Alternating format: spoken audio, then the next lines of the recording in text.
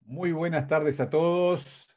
En nombre de la Universidad Católica y de todo el grupo de universidades que comparte esta actividad, le damos la bienvenida a este webinar que está basado, como ya había sido este, anunciado, en temas sumamente interesantes. Antes de darle paso a nuestro colega Rafael Rossi de la Universidad de los Andes en Chile, queremos decirles, un momentito por favor, queremos decirles que este, eh, queremos agradecer, perdón, no decirles, queremos agradecerle a las universidades que participan en esta actividad, en esta propuesta, que son de Chile, la Universidad Mayor de Chile, la Universidad de Chile y la Universidad de los Andes, de Argentina, la Universidad del Gran Rosario, y quien también estamos en Uruguay, la Universidad Católica del Uruguay. Recordando cómo es el sistema, les informamos que este, no se pueden hacer participaciones vía chat, sino que solamente se puede hacer o está habilitado el sistema de preguntas y respuestas. Eh, necesitamos este, también que sepan que eh, vamos a estar ajustados lo más posible horario para que ustedes tengan también unos 15, 20 minutos de oportunidad de realizar preguntas, que va a ser por este sistema, por el de preguntas y respuestas, y que en algunos casos se les irá respondiendo en el transcurso de eh, la exposición de otro colega. Lo que sabemos es que todos los webinars que hemos hecho nos han quedado algunas eh, preguntas por contestar. Les pedimos disculpas a aquellos que no hayan podido recibir dicha este, contestación. Con relación también a aquellos que tengan algún compañero o alguien que quiera este, escuchar la, presentación y no se haya podido inscribir por Zoom, esta presentación se está pasando en vivo por el canal de la Universidad Católica, que es entrar en YouTube y em, marcar Mediateca UCU, todo junto, Mediateca UCU, y así como es la, que estamos en, vivo, debe ser la primera que sale, y si no hay que buscarla, que es de las primeras que va a estar en ese, en ese canal. Dicho esto, eh, creo que podemos darle paso ya a Rafael y que Rafael haga las presentaciones pertinentes. Un abrazo desde Uruguay y seguimos entonces escuchando atentamente estas presentaciones. Hola Pablo, ¿cómo estás? Eh, buenas noches a todos. Bienvenido a, este nuevo webinar eh, con el tema de fisioterapia invasiva como tema principal. Eh, tendremos grandes expositores del día de hoy. La verdad es que una tremenda oportunidad para conocer una herramienta que está ingresando con harta fuerza dentro del, ámbito de la, de la, rehabilitación. Y sin ir más lejos, quiero dejar con ustedes al kinesiólogo Diego Silva, quien les hará una breve reseña en relación a los temas que veremos el día de hoy. Diego, buenas noches. Hola Rafael, eh, hola a todos los, oyentes, eh, muchas gracias por estar aquí hoy día. Eh, quisiera más que nada agradecer principalmente a la Universidad Católica de Uruguay y a todas las universidades colaboradoras por dar esta instancia de, poder dar a conocer un poco esta, herramienta de tratamiento, este método de tratamiento llamado fisioterapia invasiva. vamos a intentar hoy día dar un poco a conocer fundamentos básicos de cada una de estas herramientas y también, obviamente, de manera introductoria, lo que realiza, eh, en este caso, eh, Ronnie Silvestre con respecto a la rehabilitación por imagen de ultrasonido. ¿ya? Vamos a, a, ver un poco cómo el ultrasonido se ha transformado en una herramienta que nos permite ir desarrollando cada una de estas técnicas y también, obviamente, realizar rehabilitación in situ con los pacientes. Luego de eso, el kinesiólogo Rodrigo Latorre nos va a presentar sobre punción seca y los fundamentos eh, de esta técnica. para posteriormente eh, Carlos Cruz poder presentarnos un caso de reporte en efectos de la punción seca en lesionados medulares. Eh, luego Fernando Polidori nos va a presentar acerca de los fundamentos de una de las técnicas que también se ha ido haciendo bastante conocida en los últimos años, como es la electrolisis percutánea, para finalmente quien les habla, Diego Silva, presentarles un poco acerca de los fundamentos de lo que es la neuromodulación percutánea. Eh, así es que bueno, sin más, Rafa, muchas gracias y, y bueno, esperemos que sirva mucho esta presentación a todos.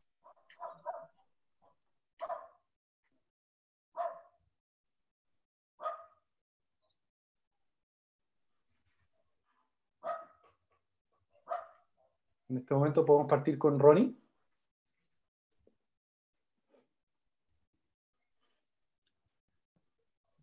¿Me escuchan? Perfecto, Ronnie. Perfecto. ¿Se, ve la imagen? Se ve. Ya. Bueno, en primer lugar, agradecer al grupo de terapia de fisioterapia invasiva eh, por esta oportunidad que me dan de poder mostrar un poco el uso de la ecografía muscular, principalmente en la evaluación y el tratamiento en nuestro campo que es la rehabilitación. Estos temas vamos a tratar hoy brevemente, una pequeña introducción, una pincelada a lo que es la ecografía, cuál es el concepto de la rehabilitación por imagen ultrasonido, cómo se usa este, esta, este concepto en la rehabilitación de columna, cómo lo estamos comenzando a usar en lo que es tobillo y pie, y por último, una pequeña introducción a lo que es eh, la electromiografía mínimamente invasiva, del cual tengo alguna experiencia. En primer lugar, hay que recordar rápidamente, digamos, lo que es la ultrasonografía, que el principio es muy similar al, al ultrasonógrafo, a la, ultrasonografía que uno usa como, eh, de manera terapéutica, pero sin embargo, la diferencia es que esto tiene un tiempo de eco y donde además la frecuencia de emisión es absolutamente distinta. Es importante además recordar que existen en general varios transductores, ¿ya? pero los principales transductores que nosotros nos... Eh, ¿Aló? ¿Me escuchan? ¿Aló? Perfecto, Ronnie. ¿Me, ¿Se escucha? Sí, se escucha muy bien. Ya, perfecto. Eh, los principales dos transductores eh, es importante asesorarse bien para la compra. Eh, está el del músculo esquelético y la cavidad abdominal. para efectos de músculo de la columna, generalmente uno compra la cavidad de cavidad abdominal, pero sin embargo yo también recomiendo el músculo esquelético clásico lineal, porque los músculos que nosotros nos interesan en la parte lumbar generalmente es la pared anterolateral. Y en la pared anterolateral los músculos son bastante superficiales. Por lo tanto, eh, si uno tuviera que elegir y tiene pocos recursos, yo me inclino por el músculo esquelético lineal. Ahora, si tiene recursos, evidentemente puede comprar los dos o elegir el otro. En general, la recepción de onda ultrasónica es un principio bien simple, ¿cierto? Se, hace, se genera el efecto pisoeléctrico, se genera la, frecuencia de repetición de pulso, y aquí lo más importante es este, este, periodo, este periodo perdón, donde se produzca un silencio y aquí se recibe el eco. Y así se transforma nuevamente la imagen en lo que nosotros estamos acostumbrados a ver. No es la idea de hacer una clase de, de ultrasonido acá.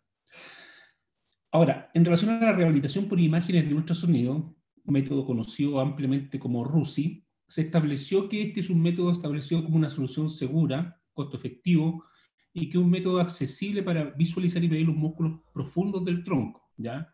Permite, eh, permite eh, visualizar en tiempo real los músculos y valorar el funcionamiento de la condición de patologías tales como, por ejemplo, eh, el síndrome lumbar. Es importante recordar que esta técnica llamada RUSI, imagínense ustedes que la primera, una de las primeras publicaciones está desde el año 1976, por lo tanto no es algo nuevo. Sin embargo, también hay literatura reciente, 2018, incluso 2020, alguno que refrenda eh, el uso de, eh, de, esta de, esta técnica. ¿Se escucha bien? ¿Se ve bien? Sí, eh, Ronnie, perfecto. Ya. Ahora, el RUSI como concepto terapéutico tiene dos grandes áreas, lo que es la medición de la disfunción de los resultados, que tiene que ver con la morfología muscular, y el feedback en tiempo real, que tiene que ver con la activación muscular. Para la relación de la morfología uno mide grosor, asimetría, eh, grosor relativo, para efectos de, de feedback en tiempo real uno mide la activación muscular y la cuantificación de la activación. Ahora, para el primer punto, lo que es columna lumbar y técnica RUSI, en general esto se ha visto principalmente para el dolor lumbar crónico. Bueno, todos saben lo que significa eh, la definición de dolor, ¿cierto? Que el porcentaje entre un 70 y un 85% de las personas durante su vida. Y en general la rehabilitación convencional incluye la fisioterapia y los ejercicios de estabilización lumbar, como pueden ver en la imagen. Es importante notar también que cuando el dolor se transforma en crónico, principalmente, y principalmente el dolor lumbar, este dolor crónico ya tiene un componente central con áreas de la corteza muy bien definidas en pacientes que muestran esta patología. Por lo tanto, el desafío no es menor. Y como el desafío no es menor, la rehabilitación tampoco eh, lo es. ¿Por qué? Porque como tenemos un problema musculoesquelético, donde se ven grandes alteraciones en dos eh, grupos musculares, primero que es la dinámica de la fascia torocolumbar y por el otro lado la trófalo multífido, en primer lugar eh, la, alteración de, estos dos, de estas dos vertientes hace que la visualización sea aún más compleja. Por lo tanto, en este plan de estabilización durmal nosotros tenemos dos subsistemas, el muscular local y el muscular global, y dentro del primero, el local, tenemos toda la musculatura multífido y todo lo que es la mecánica del transverso del abdomen. Y ahí es donde se encuentra la mayor, la mayor cantidad de pacientes con síndrome lumbar crónico. Ahora, el ultrasonido nosotros nos permite evaluar y tratar la función y su morfología. Un recuerdo simple, la pared anteromusculoabdominal y la pared anterolateral, ¿cierto? Tenemos el oblicuo externo, el oblicuo interno y el transverso del abdomen. ¿Ya? En general, para el método RUSI se usa esta, analogía, ¿cierto? La parte superior, la parte media y la parte inferior. En la parte media, que está entre la onceava costilla y la cresta ilíaca, es donde uno pone la sonda ultrasónica, ¿ya? Desde el punto de vista de la morfología, de, de, afuera hacia adentro, tenemos el tejido subcutáneo, el oblicuo externo, el oblicuo interno y el transverso del abdomen, y es muy importante ver esto, lo que es el punto de unión de la fascia columbar. Ahora, desde el punto de vista de la activación muscular, todos sabemos que punto, eh, de, una forma relajada, uno puede mirar las tres estructuras, como lo puede ver acá. Sin embargo, cuando uno le, pide una contracción isométrica, dícese contracción como pegue la columna lumbar a la camilla, eh, o lo más conocido como la maniobra de Halloween, uno lo que espera de manera normal es que el transverso del abdomen sea el que sufra la mayor, eh, la mayor cambio morfológico siguiendo por el, oblicuo interno y ojalá que el oblicuo externo permaneciera de manera eh, inalterable. Eso es lo que uno espera. Aquí pueden ver ustedes en dos sujetos, perdón, en, dos sujetos, donde cuando uno le pide, le pide al paciente que haga, que haga la maniobra de Holloway, uno podría decir, bueno, en esta maniobra, ¿cuál de los dos eh, eh, videos muestra un comportamiento normal? Para no, que no se transforme en una prueba, si ustedes miran acá, aquí está el transverso del abdomen, cuando uno le pide la prueba, fíjense ustedes cómo cambia, pero fíjense ustedes además cómo cambia el oblicuo interno respecto de este otro lado, donde el cambio de la morfología del oblicuo interno es menor. Eso es muy importante tener en cuenta. Ahora, por la parte posterior tenemos la fascia, ¿cierto? Y tenemos los músculos multífidos, músculos bastante eh, profundos en, la zona de, donde se localiza el dolor normal, donde efectivamente existen estas estrategias terapéuticas para, para, para poder observarlo. Ahí pueden ver ustedes el multífido, ¿cierto? Por lo que uno visualiza entonces es el multífido y por otro lado lo que es la fascia toracolumbar. ¿Ya? Afortunadamente existe una gama de equipos de ultrasonografía ahora, de los portátiles hasta los fijos, los inalámbricos. Yo recomiendo, si es que existe el recurso, comprarse el equipo más amigable, pero que también tenga una buena calidad de imagen y la tecnología eh, más clásica eh, eh, sigue siendo la, el gol estándar para poder evaluar esto. Lo que no significa que no se pueden evaluar con otro equipo, pero cuando uno ya empieza a escarbar un poco más, es importante tener un buen equipo. Nosotros generalmente lo que hacemos eh, es, eh, pueden ver acá a la izquierda, la espina, ¿cierto? La espina. Y acá está el grupo multífido, entonces ponemos un televisor, ¿cierto? Pueden ver ahí, ¿ya? Donde logramos visualizar, ¿ya? El cambio en la morfología del multífido. Ahora, cualitativamente, la evaluación es súper simple. Y para ser honesto, la evaluación cuantitativa del músculo multífido hay que tener un muy buen equipo y, una, y bastante experiencia. No es una tarea fácil de poder realizar. ¿ya? Nosotros con estos conocimientos y tu, este manejo empezamos a hacer alguna investigación. El primero que fue con la Universidad Católica, vemos el efecto del aumento de la contracción del transverso en una sesión de entrenamiento con la maniobra de Holwyn y con un feedback ecográfico. Muy simple, separamos dos grupos, ¿cierto? El grupo A, el grupo B, donde hicimos tres intentos, uno con feedback y otros con eh, metodología convencional, y encontramos, aquí pueden ver la metodología, ¿cierto? Un, ultrasonido, donde aquí está el tablet, ¿cierto? Y uno le muestra al paciente con retroalimentación y sin retroalimentación, ¿cierto? Y a, a la vez una presión de la columna lumbar de hasta 40 milímetros de mercurio para poder establecer realmente lo que está ocurriendo. Esto fue la retroalimentación, ¿cierto? De acuerdo a, esta, este autor, y medimos mediante ultrasonido, feedback, método RUSI, facilita, facilita el aprendizaje con una alta confiabilidad y validez. Estos son nuestros resultados. En las tres repeticiones, el grupo con cambios con, con, con retroalimentación tuvo cambios significativos en cambio el grosor del transverso del abdomen. Muy importante porque es una, una, un, un, trabajo de tesis de un alumno de pregrado y que afortunadamente termina en una publicación, ¿cierto?, para poder cerrar este tema. Después nos atrevimos con otro grupo de la Católica a mirar ahora la alteración de la trayectoria de la unión miotendínea del transverso en pacientes con dolor lumbar crónico en una tarea motora que es el Active Straight Leg Right Test, que es una clásica tarea motora, que es levantar la pierna extendida, la, extremidad extendida y descenderla. Este es un estudio cuantitativo, experimental, no transversal, ¿cierto? Y lo que eh, la variable es la trayectoria de la unión miotendínea. Aquí pueden ver las imágenes que tomamos está el oblicuo externo, el oblicuo interno, el transverso, ahí está el punto de unión y lo que nosotros evaluamos justamente es el movimiento de esto, ¿ya? ¿Qué es esto? ¿Cuánto se, se, traslada en, en, esta maniobra en pacientes con dolor lumbar? Aquí pueden ver un video del ascenso, un video del descenso que fueron tomados por nuestros pacientes, ¿cierto? Y pueden ver la diferencia de la contracción muscular. Aquí están los resultados, los pacientes versus los con buen control y mal control, perdón, ¿cierto? El principal ayer fue que el grupo de pacientes presentó un comportamiento de trayectoria miotendínea del transverso con diferencia significativa. ¿Aló? Un micrófono abierto, Ronnie. Tranquilo, sigue con tu exposición. Perfecto.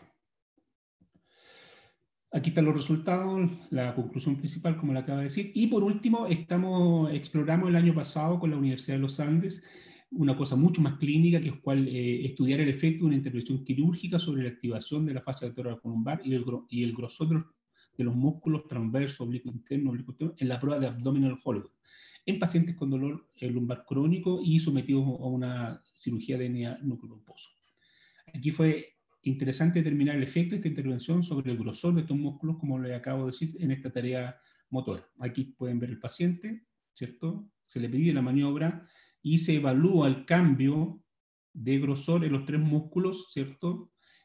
Una vez que a los, a los 21 o 30 días posteriores a la cirugía de resección de núcleo pulposo. Ahí está la metodología, se mide antes, se mide después, un trabajo complejo pero sencillo metodológicamente, y los resultados son acá que todos los pacientes a los, a los 30 días después de la evaluación, el previo para cada músculo tuvo diferencia significativa en el aumento del grosor muscular.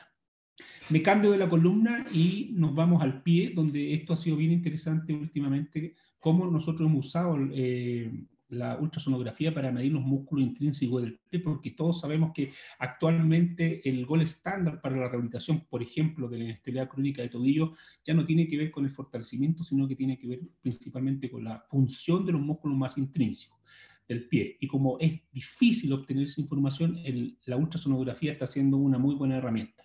Ya usamos el mismo principio, ¿cierto? Afortunadamente, eh, la literatura ya ha dado eh, cierto, cierto tranquilidad porque los estudios de confiabilidad han demostrado que tienen una muy buena confiabilidad en relación al, al, a, los músculos en reposo, eh, una muy buena, excelente confiabilidad en el área de sección transversa, una buena, excelente confiabilidad en el grosor muscular y en los ejercicios de, de músculo intrínseco del pie también la confiabilidad, confiabilidad perdón, ha sido bastante importante. Aquí están los principales eh, landmarks, ¿cierto?, para poder establecer la, la, morfología de los músculos intrínsecos del pie. en distintos tipos de músculos. Afortunadamente esta información está disponible en, la literatura, ¿cierto? Se hizo la confiabilidad de TSRTs para los músculos intrínsecos y dice que es un, esto es reciente, hace dos años, una potencial herramienta del UCI o RUCI para la eh, función neuromotora. ¿Ya? Y otro trabajo muy interesante donde ya hay algunos datos de normalidad en relación a eh, el grosor y el área de sección transversa. Pueden ver acá para el eh, aductor del alus, ¿cierto? Aquí pueden ver derecho-izquierdo, ¿cierto? Área de sección transversa y grosor en reposo. Eh, para el flexor digitum brevis, para el cuadrado plantar, y así uno va buscando la información para poder tener un, un cuadro comparativo en sus pacientes. Ya el flexor alus brevis, también está la información de cuánto miden en área de sección y en, y en grosor. Y por último, lo que nosotros estamos haciendo es incipientemente mostrándole al paciente en relación a lo que tiene que hacer cuando hay ciertos protocolos de ejercicios que son muy simples de realizar y créanme que no tengo todavía datos como para mostrar, pero los pacientes clínicamente han eh, referido un gran cambio. Por último, para no continuar en, alargarme, les voy a mostrar algo de electromiografía mínimamente invasiva, ¿cierto? Fine wire electromiografía, una técnica muy antigua. Yo creo que todos queremos saber cómo se comporta el supraespinoso, cómo se comporta el subescapular, cómo se comporta el recto femoral y por último, cómo es, cuál es la función o, cuál es la, importancia del tibial posterior. Esos músculos que son importantes en la clínica nosotros no tenemos acceso. Una forma de tener acceso es a través de la electromiografía tipo FineWare, que no es más que una aguja, muy parecida a lo que usan mis colegas en, en, en punción, pero que adentro tiene dos, si dos cables pelados en la punta que hacen de sensores o de electrodos. La técnica es introducir la aguja, llegar al músculo, retirar la aguja y estos cables quedan introducidos en el músculo y te permite la, funcionalidad. No es nueva del año 1962, yo la hago hace un tiempo acá en, Santiago y con eh, bastante buenos resultados en evaluación por ejemplo, para la disfunción del músculo tibial posterior, con un grupo de la Universidad de Chile. Hace muchos años hicimos este trabajo en el, eh, cuál era la función del tibial posterior, ¿cierto? Requiere una certificación, me pueden ver cómo lo hicimos, y en ese tiempo no teníamos ecografía, así que era un poquito más difícil de hacer. Y lo hicimos en el test del Hero Right Test, ¿cierto? En sujetos controles y en sujetos con inestabilidad crónica de tobillo, donde ustedes pueden ver cómo es el cambio significativo del tibial posterior en este test, que era ascender y descender el talón. Lo hicimos también eh, caminando entre el heel contact y el toe off. Pueden ver ustedes cómo los controles para el tibial posterior tienen una amplitud absolutamente distinta. Yo trabajo hace bastante tiempo en la inhibición muscular electrogénica y hemos visto que uno de los músculos más afectados eh, posterior a una, reconstrucción del ligamento cruzado anterior es el vasto intermedio, músculo que lamentablemente solamente lo puedes ver a través de la ultrasonografía. Bueno, nosotros lo vemos a través de la ultrasonografía, pero además lo que hacemos es eh, capturar la actividad electromiográfica, ¿cierto?, de este músculo, y ahora sí, como tenemos equipo de guiado, para poder determinar, ¿cierto? Aquí yo reforcé un poco la línea porque yo de verdad aquí me saco el sombrero para la gente que hace todo este tipo de terapia, fisioterapia invasiva, porque en lo personal a mí me cuesta mucho mirar a la aguja, lo que, lo, lo, que requiere una, un, un, trabajo bastante importante. Ya una vez que nosotros llegamos al músculo, ya aquí pueden ver eh, algunos videos, ¿cierto? De cómo eh, en dos tipos de momentos el recto femoral, ¿ya? Y eh, este es, a la derecha tienen la actividad del recto femoral, o sea, un músculo profundo que no se puede ver con, con electromiografía de superficie, y tenemos ahí el registro de los dos músculos, ¿ya? Ahora, lo interesante de todo esto es que si usted es capaz de ingresar una aguja para hacer tratamiento, también se podría eh, eh, aprovechar la oportunidad para registrar contracciones isométricas como la que ven eh, arriba a la derecha. ¿Por qué? Porque de esas contracciones isométricas ya usted puede extraer unidades motoras. Y cuando usted llega a determinar el tipo de unidades motoras o la morfología de unidad motora, usted está llegando a la reina de las motoneuronas, que es la alfa motoneurona, para entender el comportamiento humano.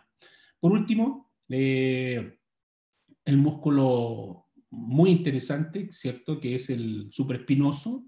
Nosotros también en nuestra clínica hacemos algún tipo de, evaluación para poder ver, aquí a la derecha pueden ver, a la izquierda, perdón, pueden ver el procedimiento procedimiento muy poco doloroso, ¿ya? donde usted inserta la aguja, van los cables que son de 50 micras, ¿cierto? Y después retira la aguja y queda. Y aquí pueden ver a la, a la derecha cómo el, el, en este caso el paciente, ¿cierto? Cualquier movimiento de hombro que hace, ¿cierto? Ya usted puede ver acá arriba cómo el músculo está siendo sensado ahora por un un electromiógrafo Fineware, donde usted puede ver claramente la actividad supraespinosa. ¿Cuál es el objetivo? Determinar la secuencia completa de todos los músculos que tienen que ver con el complejo, o la mayoría de los músculos que tienen que ver con el complejo de hombro. Y aquí pueden ver el supraespinoso, donde la señal es limpia, en rojo está el movimiento, incluso tenemos el cerrato anterior, donde pueden ver ustedes que se filtra el QRS, el corazón, para tener una información un poco más compleja. Muchas gracias. Muchas gracias, Ronnie, por la presentación. Disculpa por, por me, quedé en la mitad cuando estaba presentando. Yo creo que me quedé hablando solo, así que gracias, Diego, por, por relevarme. Está, está más o menos la, la señal por acá, así que eh, te agradezco, eh, Ronnie, por tu presentación y por este tiempo que nos, nos compartiste. Bien, a continuación vamos a presentar al kinesiólogo Rodrigo Latorre. Él es kinesiólogo, es máster en fisioterapia manual por la Universidad eh, de Zaragoza en España especialista en traumatología y ortopedia del DENAQUE, y actualmente se desempeña como docente en la Escuela de Kinesiología de la Universidad de Chile y es director de múltiples diplomas. Uno de esos me tocó hacerlo el, el 2010 como, como, estudiante. Y eh, Rodrigo el día de hoy nos va a hablar sobre punción seca de los puntos gatillos miofaciales. Buenas noches, Rodrigo. Gracias por estar con nosotros esta noche. ¿Qué tal? Muy buenas noches, queridos amigos. Gracias por la invitación. Gracias a todo el equipo que está desarrollando estos webinars, ya que es una forma muy óptima en este periodo de pandemia de poder llevar la actualización en nuestros conocimientos de kinesiología y fisioterapia a cada una de nuestras casas. Eh, para comenzar, les quiero antes que todo pedir disculpas porque eh, la señal de Internet dentro de Santiago se cayó una de las más grandes empresas que eh, provee de Internet, de la cual muchos de nosotros somos clientes entonces vamos a estar conectados mediante nuestra telefonía celular, así es que les voy a pedir disculpas, pero voy a tener que apagar mi cámara para que podamos tener de forma más fluida la presentación. Vamos a comenzar. Muy bien, cuando hablamos de punto gatillo miofacial, o mejor dicho, cuando hablamos de punción seca, claramente tenemos que identificar a nuestro amigo que es el punto gatillo miofacial. Por supuesto, tenemos que saber de dónde venimos y hacia dónde vamos los doctores Travel y la doctora, el, doctor Travel, eh, la doctora Travel y el doctor Simons son los eh, precursores del estudio de la eh, terapia invasiva para el manejo de la sintomatología dolorosa. Ustedes pueden ver, ver, arriba a la derecha a la doctora Travel con uno de sus pacientes más famosos, que era el presidente Kennedy. Por lo tanto, vamos a ir paso a paso en sus investigaciones. Ellos nos describieron el síndrome de dolor miofacial como responsable a esta foco hiperirritable que se encuentra en una banda tensa muscular, que va a generar síntomas con su deformación, ya sea con la presión, elongación, y eh, se va a caracterizar porque va a provocar disfunción motora en su músculo, pero también fenómenos autonómicos.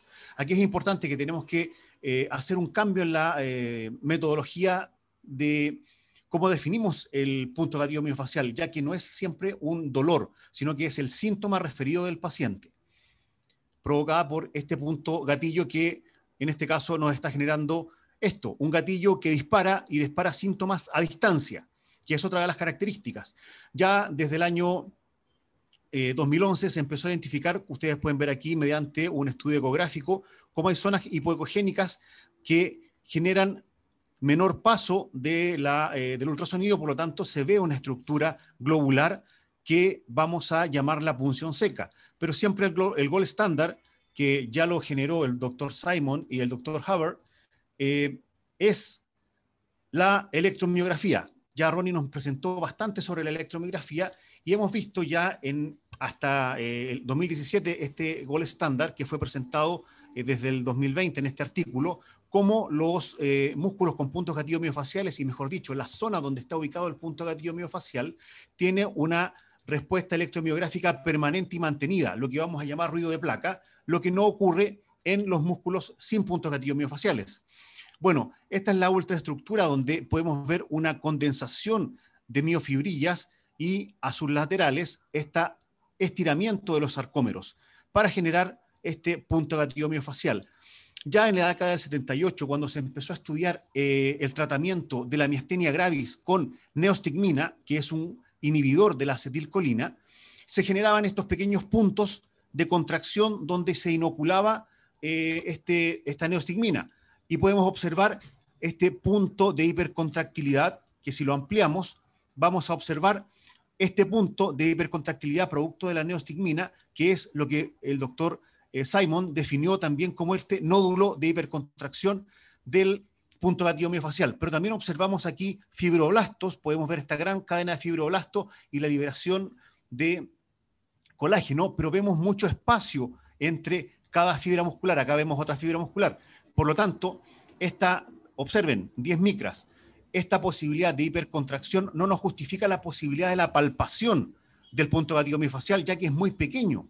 Entonces, vamos a recordar cómo esta zona que tenemos en la placa motora, la acetilcolina libre, que genera una liberación permanente, esta placa disfuncional, que va a provocar a la larga una respuesta de liberación excesiva de calcio en esta zona, la que va a favorecer la hipercontractilidad de la actina y miocina. Recordamos que el calcio es el cofactor enzimático que hace que la tropomiosina C abra el espacio de unión de la actina y la miocina. Pues bien, Siguiendo con el tema del tamaño, este es un eh, artículo presentado por el doctor Manuel Santa Fe en el 2018, donde por tinción que él ha creado, observamos acá cómo el botón sináptico se abre y vemos el axón y vemos las miofibrillas de este espacio articular, cuando se, eh, de este espacio muscular, perdón. Cuando se tincionan, vamos a empezar a observar unos nódulos que aparecen de forma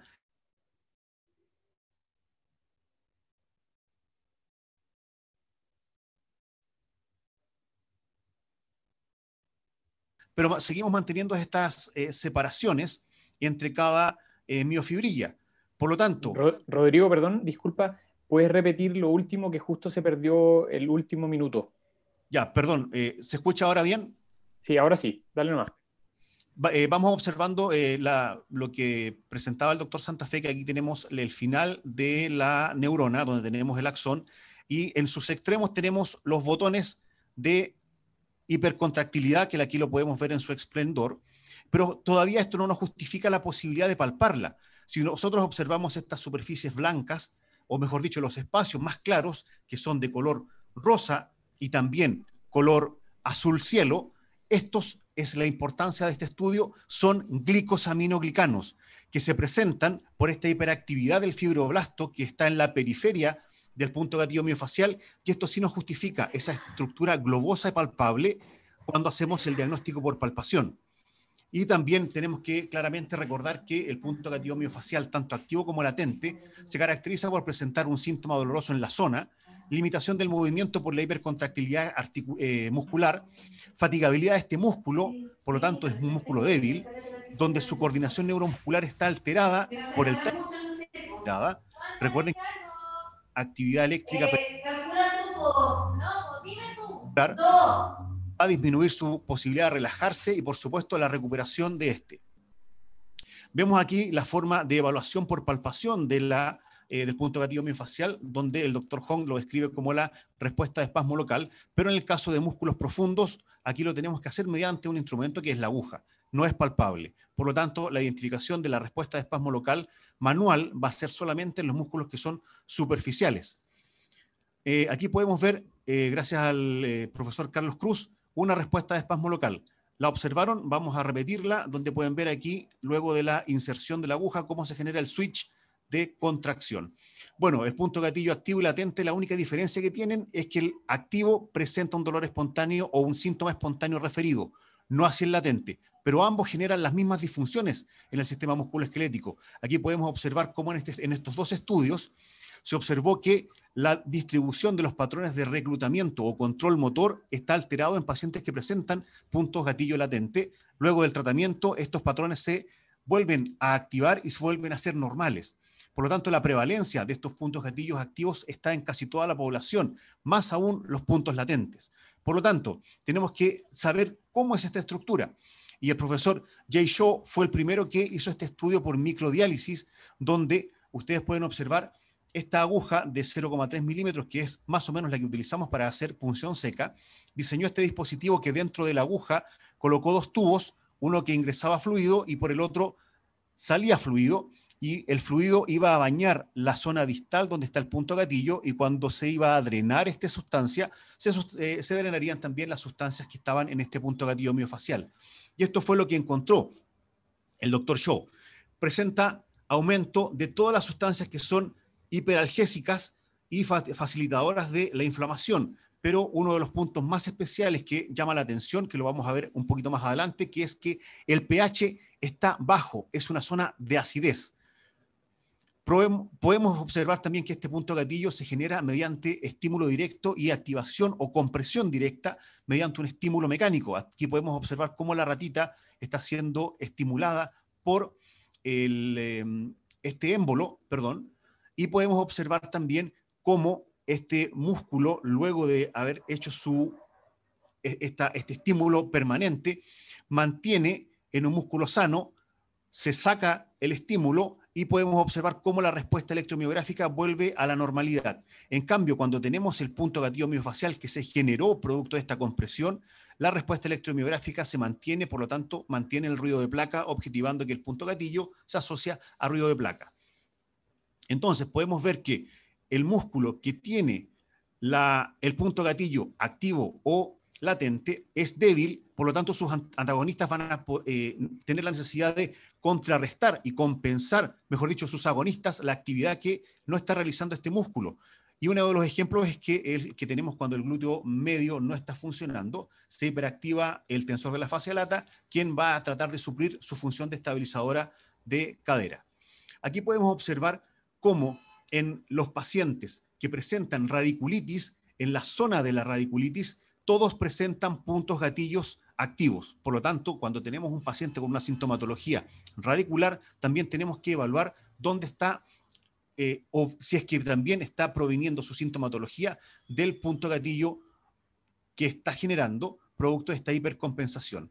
Pero también tenemos una excelente respuesta donde tenemos la posibilidad de evaluar puntos gatillo, pero ser tratados con punción y podemos observar que pospunción la actividad electromiográfica disminuye. Aquí podemos observar este estudio precioso del año 2020, donde es el primer imagen que se obtiene de musculatura humana de un punto gatillo real de hipercontracción. Podemos observar que en los deportistas de alto rendimiento, donde hay exceso de trabajo, también sus músculos están presentando puntos gatillo latente y esto, como lo veíamos anteriormente, va a interferir en la capacidad de que generen una buena contracción y coordinación neuromuscular. Entonces, este punto gatillo nace de una disfunción de la placa motora por un exceso de liberación de acetilcolina. Como ya vimos, esto genera un aumento de la tensión y contractilidad de em, estos puntos gatillo miofaciales, donde el músculo entra en hipoxia por menos irrigación esta hipoxia genera sufrimiento y como ya vio Jay Shaw, se liberan estas sustancias sensibilizantes algógenas que van a producir una disfunción de la respuesta motora, aumentando la tensión. Y esto va a generar, por supuesto, dolor como la sustancia P y la bradiquinina, y va a haber una respuesta de modulación autonómica para evitar la sintomatología. Pero esto va a aumentar la disfunción muscular, aumentando finalmente la liberación de acetilcolina. Pero algo que teníamos presente era la disminución del pH. Bueno, esta disminución del pH causa un efecto de inhibición de la enzima acetilcolinesterasa. Por lo tanto, la responsable de eliminar la acetilcolina tampoco está funcionando y esto también se potencia por la liberación del péptido relacionado con el gen de la, acetilcolina, de la acetilcolina, que es también un inhibidor de la acetilcolinesterasa. Vamos entonces a la punción seca. Uno de los grandes exponentes es el doctor Jay Shaw, que lo podemos ver aquí a la derecha, donde en uno de sus primeros estudios que presenta la relación entre la punción seca y punción de lidocaína, realiza este estudio donde genera dos grupos con punción y con lidocaína, pero la respuesta óptima a la reducción de la sintomatología se da en ambos grupos solo cuando se genera la respuesta de espasmo local o la respuesta local de switch. Por lo tanto, esto va a generar un mejor efecto en el tratamiento de nuestros pacientes. Vemos, como ya lo habíamos anteriormente, eh, que después de la punción vemos el cambio inmediato de la respuesta motora del punto gatillo miofacial. Tenemos, por supuesto, los criterios diagnósticos que ya los conocimos y los podemos ir conversando más adelante, pero tenemos algunos criterios que van a confirmar dentro de ellos la actividad electromiográfica que se reduce. Vamos a tener dos opciones de punción seca. La punción superficial descrita por el profesor Baldry, donde la aguja queda en la superficie, a diferencia de la punción seca eh, profunda descrita por el profesor Hong, donde la diferencia de ellos es, es la posibilidad de tocar o atravesar, más bien dicho, el punto gatillo miofacial. La punción superficial queda en la periferia, no alcanza a tocar el punto gatillo, pero en el caso de la punción profunda, como ustedes lo ven aquí en la ecografía, la aguja llega hasta el punto gatillo miofacial generando esta respuesta de espasmo local. Esta respuesta de espasmo local se ha descrito como una de las responsables de generar una limpieza de estas sustancias algógenas.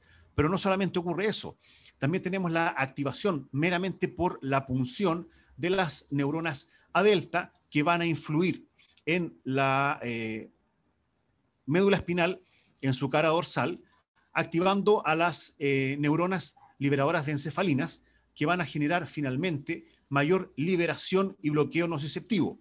Vamos a generar eh, con el punto de punción una eh, respuesta como el profesor Melsack y Wall describieron como la puerta del gate control, también bloqueando la nocicepción y generando alivio. Vamos a liberar péptidos endógenos mediante el estímulo mecánico desde la sustancia gris periacueductal, tanto ventral como rostral, y vamos a tener una eh, activación e inhibición, mejor dicho, del sistema nervioso simpático, que lo vamos a ver un poquito más adelante. Aquí tenemos el resumen de lo que está funcionando actual, en la actualidad, eh, la teoría del eh, efecto que provoca la punción seca en el paciente desde la localización de un microtrauma. Esto va a generar un estímulo mecánico que va a generar una respuesta de espasmo local disminuyendo la actividad electromiográfica.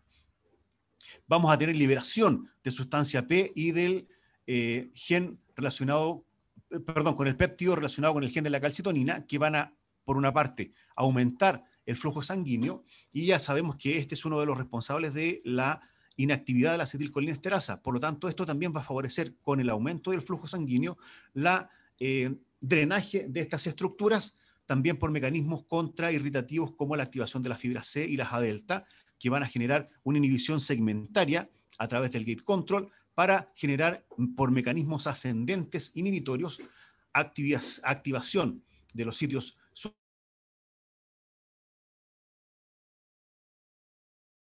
efecto placebo, más el uso y más la liberación de, como ya habíamos conversado, de serotonina y noradrenalina. Los mecanismos entonces son iguales, pero aquí tenemos una imagen presentada hace dos años por el doctor Manuel Santa Fe, que tenemos la posibilidad de que nos haya facilitado estas imágenes, donde vemos la introducción de una aguja de 0,25 milímetros, que la pueden ver acá a la derecha, y esto es el efecto que genera en la musculatura sana donde más bien, más que romper, atraviesa tejido. Pero cuando tenemos el punto gatillo, donde tenemos una concentración de estructuras, podemos observar cómo sí se genera esta micro rotura de las estructuras que están con esta disfunción de placa motora. Pero si no tuviésemos una aguja de punción seca, ¿podríamos utilizar otra alternativa como la aguja biselada? Pues no. Observen el daño que genera la aguja biselada. Cuando usamos punción seca, se mantiene la ultraestructura de microtúbulos que nos va a permitir la reparación del tejido. No así cuando usamos la aguja biselada, donde vamos a generar una cicatriz. Vemos entonces la reducción del ruido de placa, y el, el, mecanismo de acción va a ser de lesión de la fibra muscular, lesión de axones y lesión de la placa motora por la introducción de la aguja. Este estudio, que es el último que les voy a mostrar, se realizó utilizando este músculo, el auricularis longus de la, eh, de la ratita, que es una monocapa que nos permite eh, eh, objetivar y generar, como lo está haciendo en este momento el doctor Santa Fe junto a Orlando Mayoral, la génesis de nuevos puntos gatillo de forma artificial para entender su formación y finalmente su destrucción. Aquí vemos cómo en la primera fase se genera la lesión del tejido conectivo, vemos el inicio de la fase inflamatoria, eh, continuamos con la división de los fibroblastos para finalmente llegar a una fase reparatoria al tercer día. Pero ¿qué pasa? Aquí podemos ver cómo estos tres periodos se están desarrollando de forma paralela con una rápida y una gran mitosis de los miofibroblastos para recuperar esta estructura que se lesionó generando una, como pueden observar aquí, una neoformación de fibras que no solamente son fibras musculares, sino que podemos ver cómo se generó aquí la formación de una nueva unión neuromuscular que podría ser uno de los grandes responsables de eh, la génesis del punto gatillo miofacial y todo esto, por supuesto, gracias a la punción seca. Vemos ahí los elementos, pero también la punción seca fue evolucionando al uso de algo que usamos tradicionalmente como fisioterapeutas, que es la electricidad, como la electropunción pero vamos a ver con nuestros profesores que vienen a continuación cómo esto ha evolucionado en otras técnicas. Por supuesto, tenemos que considerar y minimizar los riesgos cuando realizamos cualquier procedimiento invasivo con nuestro paciente, idealmente con material estéril, siempre un correcto lavado de manos del terapeuta, guantes de ojalá nitrilo para la protección del fisioterapeuta, desinfección del área y por supuesto consentimiento informado de nuestro paciente. El doctor Simon nos dice, idealmente tanto el, tratamiento conservador como invasivo deben estar a disposición del paciente en condiciones de igualdad para ser indistintamente aplicados en función de las indicaciones y fundamentalmente de nuestro tratamiento. Queríamos presentarles los resultados del último estudio que presentamos con los profesores eh, Carlos Cruz y Rodrigo Núñez y Rodrigo Torres que eh, fue una revisión sistemática en relación a los efectos de eh, la punción seca en una nueva área, que es el manejo de la espasticidad. Se observó que a largo plazo los efectos van a, perpetuarse en relación a la comparación y a la asociación con otros tratamientos de nuestro paciente. Por supuesto, eh, la base de un buen tratamiento es un correcto diagnóstico y una formación profunda en el área para pasar de hacer técnicas ahora a hacer ciencia. Y por supuesto, como dice el profesor Sullivan, no solamente tenemos que pensar que esta es una herramienta exclusiva, que es una técnica que va a mejorarlo todo, sino que este es un complemento de todo el abordaje que tenemos como fisioterapeutas y kinesiólogos hacia nuestro paciente de forma integral del punto de vista biopsicosocial. Este es el artículo que les hacía referencia, acá están los coautores de él, y por supuesto, les agradecemos por la posibilidad de contarles qué es esta maravilla de la fisioterapia invasiva y cómo no solamente estamos tratando un síntoma, sino que ahora estamos favoreciendo la mejora de una función. Muchísimas gracias y estoy dispuesto a las preguntas al finalizar las presentaciones. Muchas gracias. Muchas gracias a ti, Rodrigo, por la completa presentación. Eh, a, continuación, a continuación voy a presentar al kinesiólogo Carlos Cruz. Él es eh, magíster en biomecánica clínica y kinesiología, actualmente estudiante de doble doctorado. Está haciendo un doctorado en la Universidad de Valencia en España, en el programa de fisioterapia y también en la Universidad de Brugge en Ámsterdam, donde está haciendo el programa de ciencias del movimiento humano. Trabaja como docente en la Escuela de Kinesiología de la Universidad de Chile donde es miembro del equipo de músculo esquelético y coordinador de la línea de análisis de movimiento. Además, trabaja en el Hospital de San José, eh, donde eh, se desempeña en el área de traumatología. El día de hoy, Carlos nos presentará sobre su artículo de caso reporte publicado el año 2018, Dry Needle Technique, eh, Spasticity and Improves General Functioning in Incomplete Spinal Cord Injury. Muchas gracias, Carlos, por compartir eh, este, este artículo, esta investigación con nosotros, muy innovadora por lo demás. Buenas noches, Carlos. Buenas noches. Eh, quiero primero probar que esté bien el internet. ¿Se escucha bien? ¿Se ve bien? Correcto, Carlos. Perfecto. Muchas gracias. Voy a cortar igual el video para no tener problema con el internet, ¿ya? Ok. Ya, eh, bueno, como comentaron, este es un caso reporte.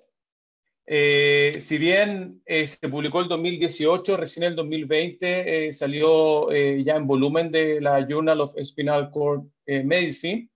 ya está en acceso libre, así que los que estén interesados de poder descargar el artículo lo pueden encontrar ya en PubMed y lo pueden descargar sin ningún costo. Entonces, para poder... Carlos, pantalla? ¿Sí? Voy a, voy a compartir ahora, disculpa. Ok, porque no teníamos acceso a la pantalla. Perfecto. Sí, perfecto. ¿Ahora sí? Ahora sí. Ok. Bueno, entonces, como les decía, este es un caso de reporte eh, que recién ahora está libre, lo pueden descargar. Eh, es un trabajo colaborativo entre la Universidad de Valencia, eh, la Facultad de Medicina de la Universidad de Chile, el Hospital San José y el Hospital Clínico de la Florida. ¿Ya? Bueno, todos sabemos que, la lesión medular incompleta eh, genera bastante dolor eh, y, cambio, la, principalmente motor, con aumento de la plasticidad. Estas dos manifestaciones clínicas son las más comunes y generan mucho impacto en la calidad de vida de, los pacientes. Los enfoques de tratamiento van, enfocados principalmente en disminuir esta plasticidad para mejorar la movilidad y reducir el dolor eh, del punto de vista del tratamiento, eh, se ha enfocado principalmente, eh, el punto de vista médico, el tratamiento con toxina botulínica para reducir la plasticidad. Sin embargo, nosotros sabemos que es muy costosa. Estamos hablando de 600 euros aproximadamente, eh, que tiene un costo altísimo y puede llegar incluso más alto. Acá en Chile hay datos que pueden llegar hasta un millón de pesos, ¿ya? que es bastante dinero, estamos hablando que puede ser imposible en el sector público, por ejemplo, costear este tipo de tratamiento. Entonces, el paciente que nosotros vimos, que llegó el año 2017, que lo voy a presentar en la siguiente eh, diapositiva, se le presentó esta posibilidad de tratamiento, eh, se le mostró también en parte, en resumen, que ya había evidencia en pacientes con accidente cerebrovascular, habían bastante literatura, habían casos, estudios casos de serie y algunos estudios randomizados que mostraban el efecto de la, de la punción seca para disminuir, la plasticidad, mejorar algunos parámetros funcionales como la marcha, también eh, recuperar, ¿no cierto?, los parámetros de la arquitectura muscular evaluada por, con ecografía, entonces podía tener un efecto positivo en el paciente. Bueno, este es el caso eh, eh, de, que ustedes ven acá en el video, espero que se pueda ver bien, ¿ya? Es un paciente que tenía 47 años y llevó seis meses después de una cirugía de compresiva a nivel cervical por un traumatismo. Como pueden ver, tenía un compromiso importantísimo de todo el cuerpo derecho. Ya pueden ver que el brazo ya está en una posición en flexión. Tenía bastante inestabilidad en la marcha. Eh, aquí ustedes pueden ver este, este, respuesta global que se generaba al presionar un punto gatillo en el vato medial. Eh, es importante recalcar que llevaba seis meses de evolución sin tratamiento. Esto lamentablemente es lo que pasa en el sistema público, que tenemos una lista de espera muy grande. Entonces tuvo seis meses sin tratamiento después de la cirugía. Y ustedes pueden ver también que eso se traducía en, dificultad importante en el movimiento del tren eh, superior. ¿ya? Entonces, finalmente lo que nosotros le propusimos a él era eh, hacer este tipo de tratamiento eh, lo probamos en, una, en, un, en el brazo, principalmente los flexores de muñeca, él sintió que le, le ayudó bastante, entonces se le pasó un consentimiento formado, se pasó por comité de ética y partimos con un tratamiento que era una vez por semana, solamente punción seca. Entonces, lo outcome que nosotros nos planteamos fue eh, la plasticidad evaluada con la escala modificada de Ashworth. Eh, la estabilidad dinámica de la marcha la medimos con un acelerómetro eh, la velocidad de la marcha, ¿se escucha? Perfecto. Ok. La velocidad de la marcha con, con el tiempo transcurrido en 20 metros. La medida de independencia.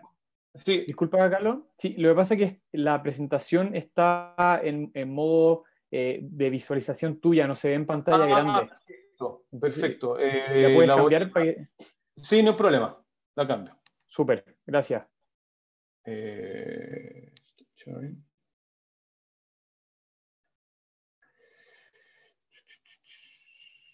aquí. ¿Ahí sí? No, aparece igual como modo de presentador. Ya, voy a volver a... Sí, en los símbolos, Carlos, presiona donde hay una pantalla dividida. Vuelve a hacer la presentación Ya, pero ¿y ahora? Ahí tampoco. Voy a ver la última en pantalla dividida. Y ahí. ¿Ahí sí? Ahora. Ahí sí. Perfecto. Ya, entonces, bueno, estaba, eh, estaba en la parte de velocidad de la marcha, se evaluaron en 20 metros, ¿ya?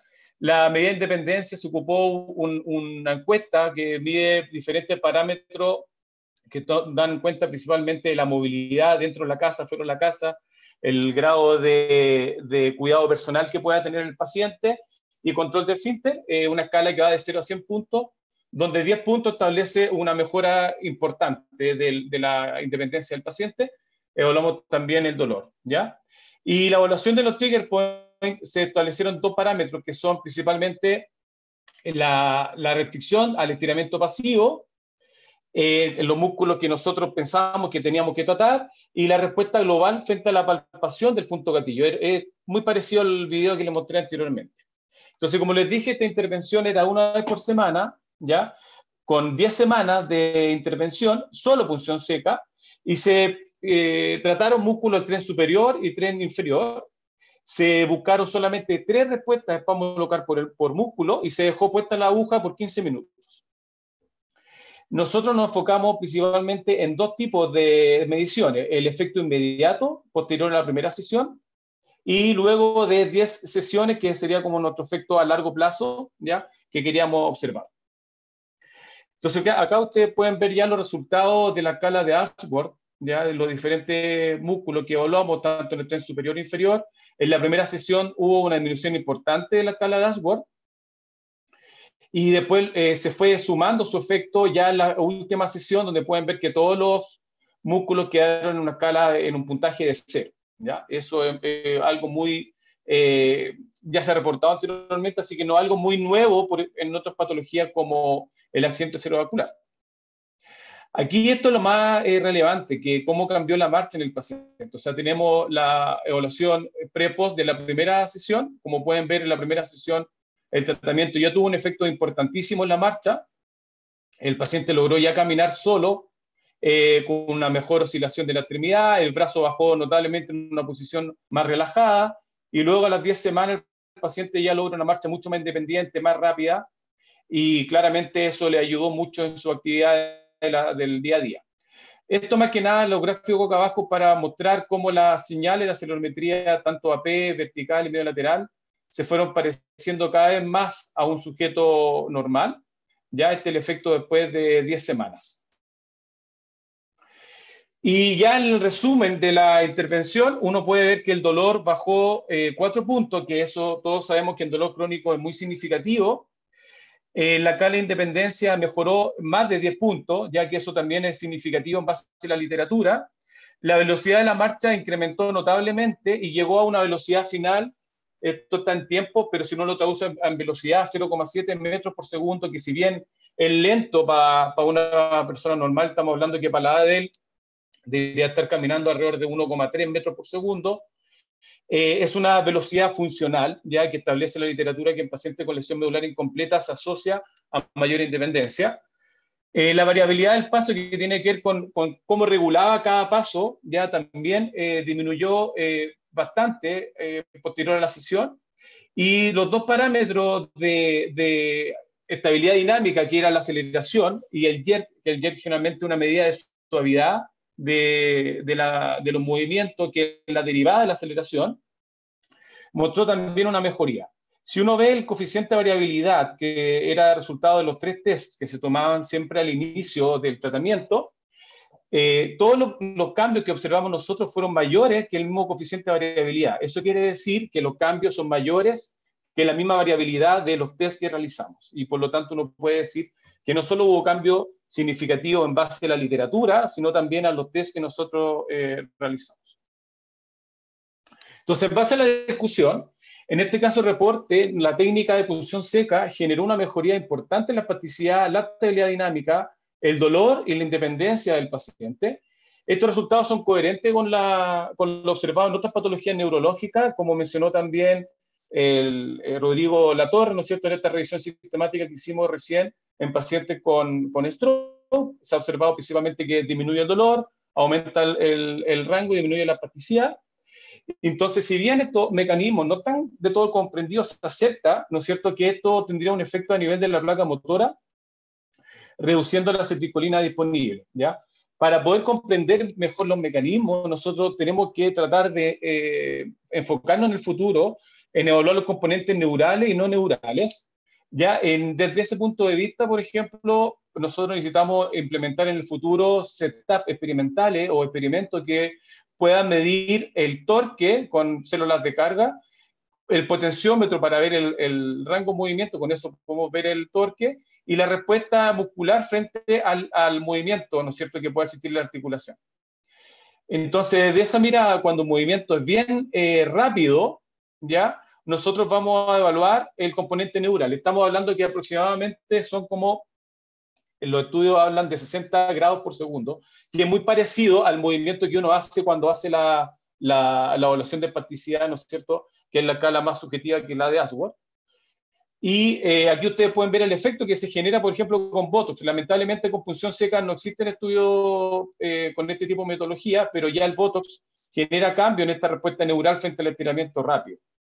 Entonces, este es un artículo reciente que se publicó en Frontiers in Neurology, que muestra justamente lo que ya hablaba eh, Rodrigo Latorre, que la punción seca generaría una disminución del ruido de la placa motora, y ustedes pueden ver acá cómo el paciente ya después de un tratamiento baja eh, su nivel de, rigidez en la mano.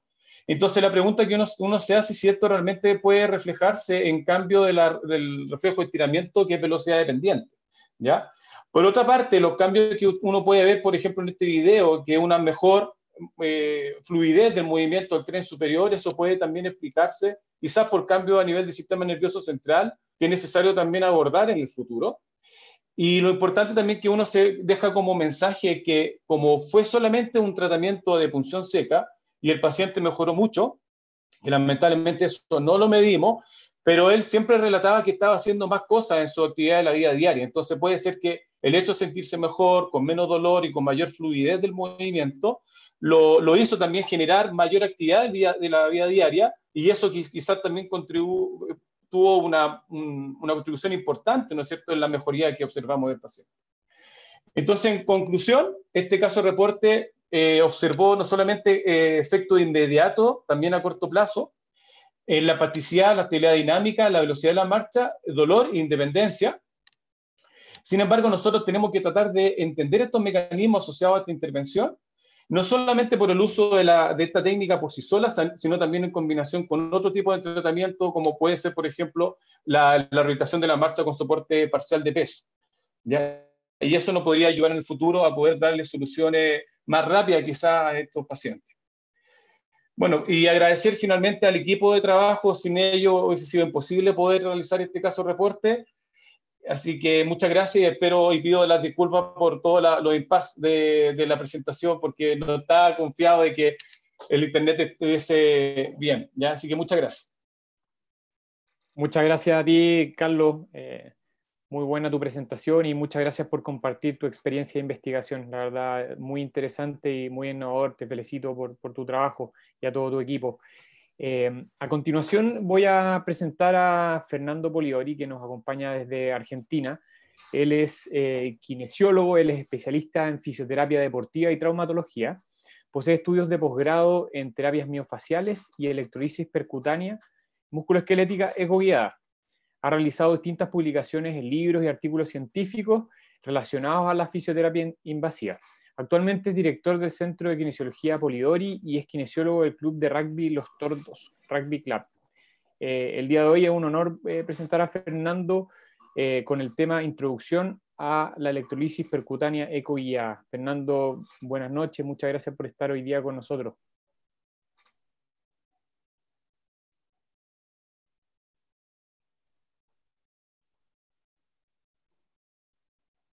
Estamos viendo si Ay, perdón. Tuve un problemita técnico con el micrófono. No hay problema. Ahí sí te escuchamos. Bueno, primero, eh, muchas gracias por la invitación. Me gustaría agradecer a la Universidad Católica de Uruguay y a la Universidad de Chile de Argentina por esta invitación al webinar y felicitar a los colegas eh, que han expuesto anteriormente. La verdad que las presentaciones han sido muy interesantes y muy conductivas para los chicos que, que están empezando en este mundo, ¿no? Y para los colegas que ya llevamos un tiempo, la verdad que muy interesantes las charlas. Yo voy a hablar eh, de la introducción de la electrólisis percutánea. Eh, siempre que hablo de este tipo de técnicas me gusta meterme un poquito en la fisiología y en la fisiopatología de lesiones tendinosas, las voy a tocar muy por encima, pero siempre me gusta mencionar eh, para que los chicos refrescan algunos conceptos y para ver si las podemos estimular también a que, a que vayan a las bases científicas, científicas que creo que es fundamental en este tipo de técnicas.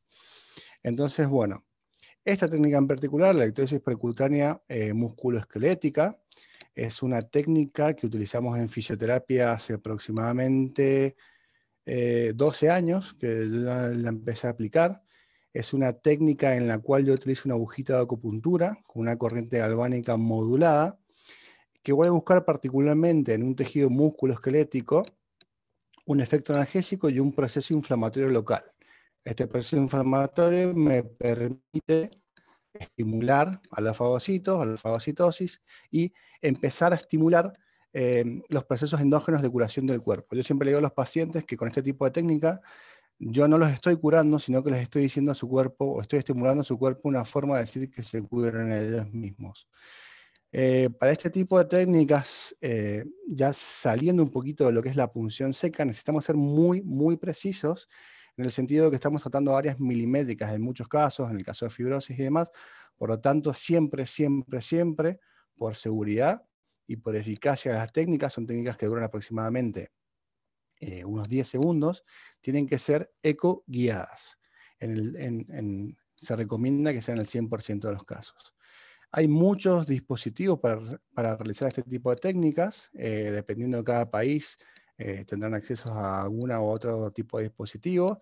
La EPI, que es la, imagen que se ve arriba a la izquierda, es la primera de todas las técnicas de la electrólisis percutánea creada por el doctor Sánchez. Eh, hay nuevos dispositivos, ¿no? Este es el dispositivo actual. Después tenemos máquinas de empresas italianas como Gina, EPTE, MEP y la máquina de fisio invasiva, dependiendo de cada país, de gusto de cada uno. Eh, es la máquina que utiliza, son todas válidas para este tipo de técnicas siempre y cuando se utilice eco-guiadas, por supuesto. Entonces, como les mencioné antes, a mí siempre en particular me gusta hablar un poquito de, estadísticas, un poquito de fisiología y fisiopatología. Las tendinopatías, y para esto se inventaron principalmente este tipo de, este tipo de técnicas, se inventaron, se descubrieron, la verdad que no sé qué, cuál sería el término correcto. Eh, ¿Por qué? ¿Por qué se desarrolló esta técnica? Porque en la, ya las Olimpiadas del 2000, del 92, los pacientes con tendinopatías, la verdad que costaba una fortuna recuperarlos y muchas veces ni siquiera los recuperábamos, los teníamos que retirar, lo cual hoy en día sería una locura, ¿no? Entonces, revisando bibliografías como la de Patrick Daniels, que es un oftalmólogo que hizo uno de los mayores avances en la descripción de los, dolores, de los dolores tendinopáticos, irónicamente él es oftalmólogo, pero se dedica a estudiar tejido blando, nos dice que los tendones tienen una vascularización muy limitada, tiene una tasa metabólica muy lenta, con una isquemia vascular post-ejercicio que no se restablece hasta 24 horas después de un ejercicio. Esto es muy importante para los profes, eh, para la planificación de los ejercicios, se tiene muy en cuenta en los equipos profesionales. Eh, Williams nos dice ya en el 86 que la curación y la remodelación del tendón de Aquiles en conejos, este era un estudio en el cual se inmovilizaban a los conejos, tardaba hasta cuatro meses y muchas veces no se llegaba producir esta regeneración. Son muy difíciles para el tratamiento, sobre todo para los fisioterapeutas, hasta que aparecieron este tipo de técnicas, la punción seca, la electrosis percutáneas y la neuromodulación, que es la, charla que viene a continuación. Y los ejercicios, que también son la clave para este tipo de lesiones, nos van a regenerar, pero también nos van a degenerar. Hay que saber cómo usarlos, cuándo usarlos y dónde usarlos. Algo que me parece muy importante destacar para la, para kinesiología, la fisioterapia, siempre nosotros eh, vemos las lesiones en tres etapas, la etapa inflamatoria, la proliferativa y la madurativa. En la etapa inflamatoria, la verdad que las tendinopatías, en mi caso en particular, que me dedico más a deportistas, no, no suelo verlos de los deportistas, es el típico deportista que se recupera tal vez o haciendo reposo o haciendo fisioterapia convencional. Fisioterapia convencional me refiero a la fisioterapia de camilla, sin nada invasivo. Y la etapa de proliferación es la etapa en la cual eh, normalmente intervengo yo eh, para hacer una, una, diferencia o cuando la etapa eh, se cronifica y demás para este tipo de técnicas. siempre me gusta hablar de la tetrada histopatológica. Esto es eh, importante para los chicos que están aprendiendo este tipo de técnicas, aprender que en este tipo de lesiones, hablando de tendones, van a haber cuatro alteraciones fundamentales para este tipo de lesiones. La primera es la fundamental, que es la imagen de la izquierda. Podemos ver el microscopio electrónico cómo se ve el tejido colágeno normal y cómo se ve un tejido colágeno, colágeno alterado, con alteraciones fisiopatológicas. La segunda alteración muy importante es una degeneración de la sustancia fundamental que se va a transformar en una sustancia mucoide, mixoide. Esta sustancia eh, ya hablando de una alteración de colágeno, una alteración en la disfunción y una alteración eh, biológica de la célula, nos va, ya, podemos entender que nos va a generar problemas. También va a haber un desequilibrio entre las metaloproteinasas y los inhibidores tisulares de las metaloproteinasas y por consiguiente una lesión de los tenocitos, una apoptosis de los tenocitos, dependiendo en qué etapa lleguemos. Las imágenes de abajo ya son imágenes ecográficas en las cuales yo puedo describir tres situaciones distintas. La imagen de la izquierda ve un tendón rotuliano, que es esto que se ve acá. En este caso se ve como si fuese una imagen en un cono, eh, porque ya tiene una alteración, eh, una tendinopatía, una tendinosis con un engrosamiento del tendón. Es un tendón que normalmente mide 4 milímetros. Esto es la patela o la rótula con una pequeña calcificación. Este es otra imagen para que lo vean en un corte transversal unas pequeñas vascularizaciones, y la imagen de la derecha también es un tendón rotuliano con un gap o una, una rotura en el polo inferior de la rótula. Esto se le considera una rotura parcial del tendón, por supuesto. Eh, cuando hablamos o intentamos explicar el dolor, el mecanismo más importante o más actual, o el que a mí personalmente más me convence, se llama modelo neuroisquémico y es el modelo por el cual nos dice que un movimiento de deslizamiento, tracción a tracción suprafisiológica nos va a producir una alteración en luz vascular. Esto conlleva una isquemia temporal que produce una liberación del factor del crecimiento del endotelio vascular. Si este factor no restablece o no desaparece a las 24 horas post esta isquemia, se va a liberar otro factor fundamental que es el factor de hipoxia tisular. Este factor estimula a otro que es el factor de crecimiento eh, neurálgico o neurológico que nos conlleva un estímulo a la sustancia P. Volviendo a esto, ya lo he mencionado antes, pero me parece eh, fundamental eh, mencionar esta sustancia para que después la puedan estudiar un poquito más en profundidad, que nos va a generar a nivel de lesión una reabsorción ósea y a nivel de las fibras en los tendones, las, las neovascularizaciones, nos van a producir una hiperreactividad por una hiperneuralgia o una hiperinervación de estos vasos que cualquier eh, contracción eh, mecánica nos conlleva un dolor exagerado, una hiperalgia del dolor. Entonces, para esto se, inventó este tipo de técnicas, la electrosis, la percutánea musculoesquelética, para restablecer la celularidad o la parte celular de este tipo de lesiones. Y a su vez, siempre la acompañamos de un restablecimiento o una mejora de la mecánica, la activación mecánica, la activación neuromuscular o eh, la reactivación neuromuscular, que a mí me gusta más hablar eh, desde ese ángulo. Creo que la, eh, ya avanzamos un poquito más en este tipo de técnicas, ya hablamos de la rehabilitación neuromuscular, porque este tipo de lesiones nos produce una inhibición en todas las estructuras, eh, bueno, ya, ya, se va a explorar más Diego, de todas las estructuras periféricas que necesitan ser estimuladas. ¿Cuáles son los efectos que buscamos con las electrólisis? Producir hidróxido de sodio, destrucción del tejido fibrótico en el caso de que lo haya, eh, licuar el tejido, esto quiere decir eh, hacerlo más lábil, más fácil de, moldear, de manejar, formar un tejido cicatrizar en el caso que rompamos una fibrosis, ablandar y relajar el tejido, provocar una respuesta inflamatoria que nos va a llevar a una vasodilatación, con cambios fisiológicos que eh, los más considerables es el aumento del tipo 3 del colágeno con respecto al 1 y un incremento de la celularidad.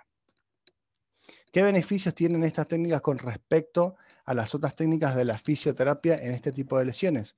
Son tratamientos locales, muy rápidos, muy específicos y con eh, poca posibilidad de generar algún tipo de iatrogénica, de porque son siempre eco-guiados, sacando por supuesto de lado todos los que son los cuidados personales, ¿no? limpieza de manos, guantes, ambiente, eh, lo que ya mencioné anteriormente eh, los distintos colegas voy a reparar un tejido específico, voy a apuntar a un target muy específico de la lesión.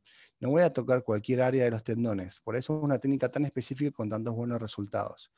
Las modificaciones estructurales en el tejido blando pueden ser inmediatas. dependiendo de la estructura que estoy tratando y la veo en tiempo real. Realmente puedo ver un REL, ya que utilizo un ecógrafo, en el caso que lo quiera, quiera aplicar los músculos, o puedo ver eh, la densidad de gas eh, en, un, tendón, o si quiero liberar una estructura, puedo ver con una maniobra activa cómo se liberan las estructuras. Con respecto a la eficacia, eh, son muy eficaces en este tipo de lesiones, muchas, muchas veces más eficaces que la fisioterapia convencional y tienen pocas recaídas. ¿Para qué aplico esta técnica, este tipo de técnicas? Eh, primero y fundamental para las tendinopatías. Pero algo muy importante que se está desarrollando en los últimos años, tratamos todo este tipo de lesiones como un sistema neuromúsculo esquelético. Es decir, una alteración no solo del tendón del músculo, sino de la capacidad de activar o de inhibirse de estas estructuras. Es muy eficaz, bueno, para las, todo tipo de eh, lesiones tendinosas, rotulianas, aquilianas, isquiotibiales, pubalgias, epicondilas, etcétera, etcétera, manguitos rotadores, muy eficaz. Fasciosis plantar, roturas musculares, este mm, se, se, asocia con otro tipo de técnicas de fisioterapia invasiva, síndromes miofaciales, como decían los colegas, los REL que puedo generar con este tipo de técnicas son bastante, bastante importantes porque le aplico un estímulo externo, no solo la punción eh, mecánica, no solo estímulo mecánico, sino también un estímulo eléctrico. En esguinces de tobillo la recuperación es, fantástica y en los impingement eh, principalmente porque puedo producir una, una liberación de las estructuras como la cápsula. En la periostitis tibial principalmente no es que voy a tratar el periósteo, sino que voy a tratar la lesión que hay entre el periósteo y el tibial posterior, normalmente. Por supuesto, es una técnica que tiene contraindicaciones e indicaciones. Las contraindicaciones absolutas son absolutas y las contraindicaciones relativas me gusta siempre hablarlas con el médico. ¿Tiene evidencia científica esta técnica o estas técnicas, este conjunto de, técnicas? Por supuesto, tiene mucha, mucha evidencia científica a esta altura eh, me tocó participar en muchos de estos artículos. Este artículo en particular es un artículo muy interesante con un follow-up a 10 años de los pacientes. Este artículo con un control randomizado, muy interesante, los mecanismos moleculares de reparación eh, en este tipo de técnicas y el primer artículo y la base de todos los artículos, que es cómo se repara el mecanismo biológico tras aplicar este tipo de técnicas. Todos estos artículos son de libre acceso, los pueden buscar en PubMed y eh, y bajar. Y mm, si tienen alguna duda me pueden escribir, no hay ningún problema. Siempre me gusta, sobre todo cuando, cuando hacemos una charla dirigida a estudiantes, eh, mostrarles cómo fue el proceso de la creación de estos artículos, porque cuando uno ve un artículo se ve eh, se, sobre, se estresa pensando que, que, es imposible hacer este tipo de artículos. Entonces me gusta siempre mostrarles cómo empezamos. Nunca, no empezamos por un artículo de 10 años, sino que empezamos con un artículo bastante más básico, que es este artículo en particular, en, jugadores de fútbol profesionales. Eh, en este artículo, que es la base para el resto de los artículos que les mencioné, a 10 años y a 3 años también hay artículos con distintas ligas y, y distintos médicos a nivel mundial, hay criterios de inclusión y criterios de exclusión. En este caso fueron 23 pacientes con un criterio de inclusión con dolor en el tendón rotuliano asociado al deporte, con síntomas de duración de más de 3 meses, entre, 8, entre 18 y 41 años de edad, muy sensibles a la palpación, que hayan recibido un tratamiento médico, kinésico, fisioterapéutico que no haya sido adecuado o haya sido fallido, y que jugaran al fútbol en este artículo en particular. Y los criterios de exclusión es que hayan tenido un dolor crónico, una enfermedad crónica de base, perdón, una patología en la articulación del tendón, o sea, en la rodilla, signos y síntomas coexistentes, perdón, la patología de rodilla, alguna contraindicación a este tipo de técnicas, cirugía de la rodilla o alguna droga que afecte los tendones como los anticoagulantes o las fluoroquinonas. Utilizamos bastantes variables, la variable de VISA-P para valorar el dolor y dividimos eh, este tipo de pacientes en dos grupos grupo 1 de peor pronóstico, de menor puntaje, y grupo 2 de mayor de 50 puntos de mejor pronóstico. Esta imagen siempre me gusta eh, mostrarla, es una rótula y un tendón rotuliano, y esto es como se ve la aguja en un tratamiento de electrosis percutánea en el polo inferior de la rótula, y en esta imagen puedo ver un tendón con neovascularizaciones. En este artículo se utilizaron 3 mA durante 3 segundos en el polo inferior de la rótula utilizamos todo tipo de orales, pero no me voy a desplayar en, el tiempo, así no me excedo en el tiempo, desde blasinas, distintas etapas de las blasinas, en los distintos grupos, eh, años, eh, edad, sexo, pierna dominante, tipo de deporte, categoría del deporte, que también es muy importante, tiempo de reposo y en los distintos grupos sus blasinas. ¿Cuál fue la conclusión? Así no me, no me explorado demasiado. En el grupo 1 de peor pronóstico, el 92% de los pacientes alcanzaron el alta de la fisioterapia en 5 semanas. Piensen que eran, son jugadores de fútbol, lo cual es importante que se recuperen rápido, con un promedio de 5 sesiones y se aplicaron dos sesiones de ejercicios excéntricos en, por semana y una sesión de electrólisis con una mejora en la visa P mayor o más significante el 93% y un grupo 2, una visa P o mejor pronóstico superior a 50 puntos, todos los pacientes alcanzaron la alta a las tres semanas con un promedio de 2,5 sesiones de eh, fisioterapia invasiva con ejercicios y una mejora en visa P mayor al 90%. Por conclusión, este tipo de técnicas son muy eficientes para este tipo de lesiones. No me explaya más, creo que cumplí con el tiempo, así que muchas gracias a todos. Muchas gracias a ti, Fernando, eh, por compartir también tu, experiencia de, muchos años. Yo creo que de los pioneros acá en, Sudamérica en relación a este tipo de, terapia. Así que muchas gracias. Bueno, para finalizar las charlas del día de hoy, voy a presentar al kinesiólogo Diego Silva. Él también es coorganizador de esta, de esta jornada, es kinesiólogo, eh, diplomado en terapia manual y kinesiología en el cuadrante superior inferior y actualmente está eh, finalizando su magíster en fisioterapia invasiva en la Universidad San Pablo de Madrid. De hecho, está viajando los próximos días para finalizar eh, su formación en España. Él actualmente trabaja en Clínica Universidad de los Andes y es socio fundador de Mio eh, el día de hoy, Diego nos presentará sobre neuromodulación percutánea ECO-IA, fundamentos y casos clínicos. Diego, ¿estás por ahí? Aquí estoy. Te doy la palabra entonces. Rafael. Eh, ¿Se ve ahí? Sí, se ve perfecto. perfecto. muchas gracias. Bueno, gracias a los presentes, a los que se han quedado hasta el final de, estas charlas de fisioterapia invasiva. Como dijo Rafael, les voy a hablar sobre esta técnica de neuromodulación percutánea coguida, eh, la cual, bueno, ha, ha, ido evolucionando en los últimos años respecto, como dijo eh, Rodrigo Latorre anteriormente, eh, desde la punción seca hasta ir aplicando corrientes a las agujas para poder ir generando distintos efectos como ya se conoce. Eh, me gusta siempre recordar este, esta frase que, siempre me, llena de sentido respecto de que dice que los tejidos muchas veces sanan, sin embargo el sistema nervioso recuerda, entendiendo entonces que, lo, que el dolor muchas veces puede persistir, eh, como resultado de una sensibilización del sistema neural y no de que necesariamente tenga que existir un, tejido que está dañado. Bueno, y eso es lo que se enmarca un poco lo que es el dolor persistente, ¿no? El dolor persistente conlleva ciertos procesos como alteraciones mecanosensitivas a nivel somatosensorial, eh, alteraciones de la excitabilidad neural, generando, por ejemplo, inestabilidad o retraso de la activación neuromuscular, eh, generando también alteraciones de la mecanosensibilidad neural, por ejemplo en el SLAM test como la neurodinámica del nervio femoral, o eh, sensibilizaciones del sistema neural ya sean periféricas y centrales. Y todo esto sin existir necesariamente, como explicaba antes, un problema a nivel de estructura, un problema a nivel tisular. Eh, se ha visto que tratamientos farmacológicos y tratamientos conservadores muchas veces no son suficientes para dar alivio de los síntomas de la función neuromuscular. Y por otro lado, Conocemos que la electroterapia en general son herramientas terapéuticas válidas para el tratamiento del dolor. Sin embargo, el efecto terapéutico generado por las corrientes eh, que produce cambios a nivel de los inputs del sistema nervioso central no siempre se puede aplicar en todos los tejidos. Eh, en la kinesiología, ¿cierto? Tenemos varias herramientas para el manejo del dolor persistente y hoy por hoy también el enfoque biopsicosocial nos permite abordar a estos pacientes eh, desde distintas perspectivas para poder eh, entenderlos en su complejidad. Eh, sin embargo, no todos los pacientes evolucionan de la misma manera como quisiéramos, eh, y por eso también es que surgen nuevas opciones como la neuromodulación percutánea.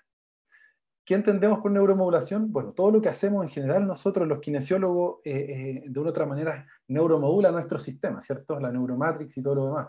Ejercicio ya sea con foco externo, ¿cierto? La terapia manual, la electroterapia de superficie, ejercicios aeróbicos, ejercicios en general, van a generar una, una neuromodulación en, nuestro sistema. Eh, además, al día de hoy se sabe por literatura que nuestro sistema está en constante cambio adaptativo frente al medio externo, sobre todo, y al interno también, y existe evidencia sobre la neuroplasticidad periférica y central frente al dolor musculoesquelético y todo lo que puede generar, digamos, eh, el sistema musculoesquelético como tal para eh, favorecer lo que es la regulación o la autorregulación del cuerpo que entendemos por homeostasis. Existen diferentes estrategias, diferentes modelos para poder abordar a los pacientes que tienen dolor persistente. Sin embargo, eh, las herramientas con las cuales vamos a tratar, como les decía antes, tenemos una gran disponibilidad, pero una de ellas eh, es la neuromodulación percutánea. ¿En qué consiste la neuromodulación? Como ven en la imagen, a esta aguja que ya tanto se le ha hablado, al monofilamento que partió con la punción seca, se le induce una corriente de mediana o de baja frecuencia, denominada ¿cierto? entre las TENS o de las corrientes PES. Em, se define como una técnica de estimulación eléctrica a través de una aguja con guía ecográfica sobre nervios periféricos, ya sea tronculares o terminales, que tienen por objetivo modificar los patrones neurales de la organización morfológica y funcional electroquímica. Eh, tenemos, digamos, tres elementos fundamentales como son el ecógrafo, la aguja como tal que nos permite llegar a nuestro tejido objetivo, a nuestro tejido diana, y el uso de corriente. Estos tres elementos en conjunto pueden generar eh, un efecto terapéutico importante. Se basa la neuromodulación en un modelo neuromecánico, es decir, no buscamos un daño estructural, sino que buscamos justamente la funcionalidad y basado justamente en un completo razonamiento clínico es cómo podemos llegar finalmente a decidir cuál va a ser nuestro tratamiento. Entonces la neuromodulación en estos últimos años se ha presentado como un método innovador, eficaz y capaz de dar respuesta en casos de mala evolución o de dolor persistente. Eh, se enfoca en un razonamiento clínico que obviamente tiene eh, como base la funcionalidad de la persona, bajo también una estricta y obviamente completa anamnesis para poder determinar, como decía anteriormente, cuál va a ser mi tejido diana a tratar, en mi estructura, y entonces es re importante ahí conocer o valorar bien el sistema nervioso central. Este sistema nervioso central está integrado por tres, eh, digamos, esferas, la somatosensorial, la somatomotora y el sistema nervioso autónomo. Eh, de estos sistemas obviamente puede haber, en el caso clínico del paciente que estemos evaluando, alguna de las tres que esté primando. Sin embargo, cuando aplicamos neuromodulación eh, percutánea, vamos a incidir indirectamente sobre el resto de los sistemas. ¿ya? Em, estos sistemas somatosensorial, bueno, se pueden traducir en hiperagesia primaria, secundaria, fenómenos de alodinia o de WINAP, cuando eh, hay un efecto sumatorio del dolor, incluso alteraciones propioceptivas a nivel de la función motora, inhibición motora, alteración del reclutamiento y también estrategias motoras compensatorias.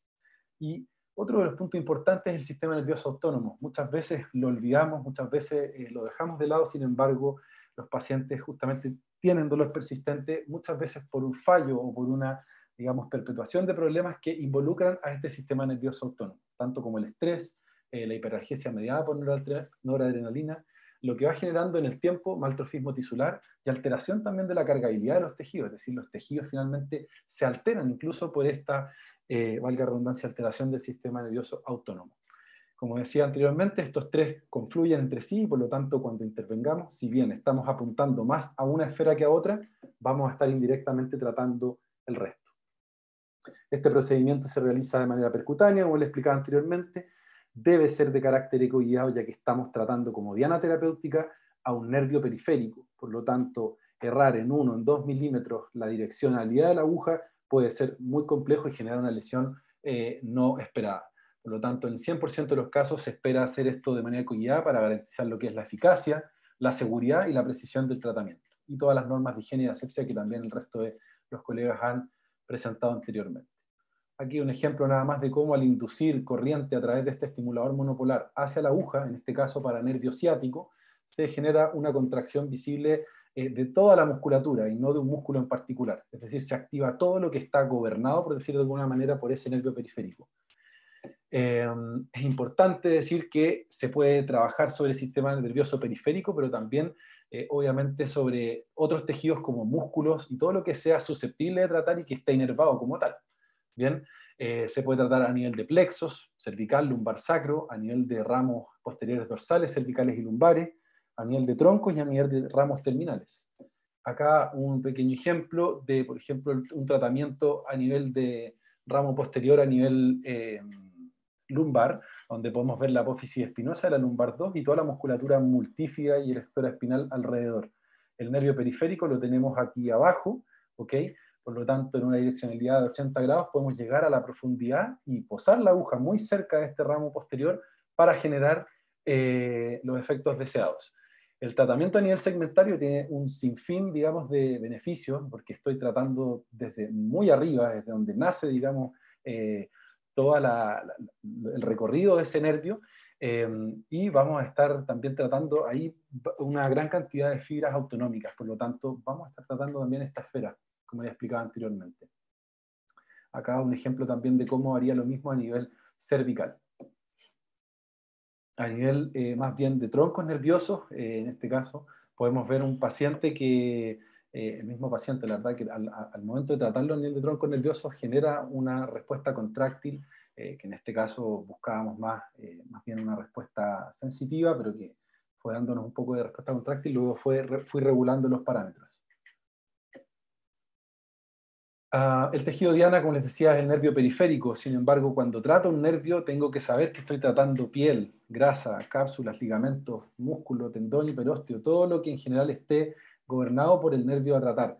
Y obviamente las fibras eh, que queramos reclutar van a depender de las intensidades con las que yo también eh, voy a tratar a mi paciente. Quizás no es el momento tanto de profundizar en, las especificaciones de, de, de las frecuencias a utilizar, pero aquí ustedes pueden ver cómo, digamos, frente, a diferentes hallazgos exploratorios que yo he tenido en mi, evaluación, puedo aplicar diferentes también eh, parámetros de estimulación. Otra de las cosas importantes es que algunos nervios periféricos tienen ya estudiada su especificidad axonal. Esto quiere decir que no es lo mismo tratar a ese nervio, por ejemplo, veas el nervio eh, ciático a la izquierda y nervio femoral a la derecha, es lo mismo tratarlo por la cara anterior, por la cara profunda o por la cara lateral, porque voy a estar reclutando eh, más, por ejemplo, territorio nervioso de la cara lateral en el caso de, irme hacia, hacia, la cara lateral del nervio ciático, y voy a estar tratando, por ejemplo, la musculatura peronea. ¿ya? Entonces eso también habla de que no es llegar y llevar la aguja a cualquier punto del nervio, sino más bien eh, estudiar esto, tener, tener estos conocimientos para poder definir por qué cara voy a tratar. Eh, los objetivos obviamente van a ser dependiendo de las esferas, por ejemplo, en el caso de la disfunción somatosensorial, disminuir dolor, generar cambios a nivel proprioceptivo, generar cambios en las aferencias. A nivel de los parámetros motores, eh, generar cambios a nivel de reclutamiento de las unidades motoras, mejorar la fuerza, optimizar el control motor. Y a nivel de la función autonómica, restablecer y optimizar el correcto funcionamiento del sistema nervioso autonómico, normalizar también el trofismo eh, tisular. Ahí también pueden ver algunos parámetros que se utilizan. Todo esto, lógicamente, como una terapia coadyuvante del ejercicio terapéutico y todas las demás técnicas que podamos emplear como fisioterapeutas. Eh, para cerrar, dos casos clínicos muy breves. Una paciente eh, de sexo femenino, 26 años, operada de una rotura compleja de rodilla con multiligamentaria, pueden ver ahí ligamento cruzado anterior, reconstrucción, y por otro lado una rotura parcial del cruzado posterior, la esquina posterolateral también comprometida y el menisco externo. Em, basándome un poco en la literatura, eh, en donde ya hay evidencia de los efectos, digamos, eh, positivos respecto a estos pacientes, eh, sobre todo los operados de ligamento cruzado anterior, se utilizaba, por ejemplo, estos estimuladores que se dejaban puestos en el paciente en las etapas postoperatorias, incluso cuando estaban intrahospitalariamente, y mejoraban eh, de manera considerable lo que es la, sobre todo el dolor y también la, conducción motora. Y basado también en este último estudio que habla un poco de los efectos en la fuerza isométrica del cuádriceps cuando se aplica eh, estimulación, eh, neuromodulación, en este caso percutánea, es que dije, bueno, ofrecí a esta paciente este tratamiento como tal. la paciente presentaba por lo demás una inhibición artrogénica de larga data, ya llevaba 5 o 6 meses de evolución, una de las razones por las que yo creo que realizó esta inhibición artrogénica del cuádriceps fue fundamentalmente por los largos periodos de inmovilización que tuvo que, cursar, debido obviamente a la cantidad de ligamentos reparados en su rodilla. Entonces, bueno, se hace un tratamiento, en este caso, a nivel de la ingle, como pueden ver ahí en el círculo, eh, se lleva la aguja hacia el nervio femoral, ¿ya? que está ubicado muy superficialmente en esta zona de la ingle, y aquí les puedo mostrar un poco también cómo se vería a nivel ecográfico esto, ¿ya? en donde tenemos la arteria femoral muy próxima, vecina de hecho al paquete básculo nervioso del nervio femoral. Eh, por lo tanto, ahí la importancia de realizar esto de manera ecoguiada. a mano derecha pueden ver también cómo eh, en la ecografía que yo le hice tuve que realizar obviamente todas las eh, normas que, que, uno va realizando antes de pinchar para poder medir dónde voy a ir, con qué angulación. Eh, ahí la zona más hiperecogénica que ven al lado de esa arteria es, es el paquete vasculo nervioso en este caso o el nervio femoral. Y en este pequeño video van a poder observar cómo voy direccionando la punta de la aguja, quizás no se ve tan nítidamente, pero ya voy próximo a llegar a la zona eh, más posterior de este nervio femoral.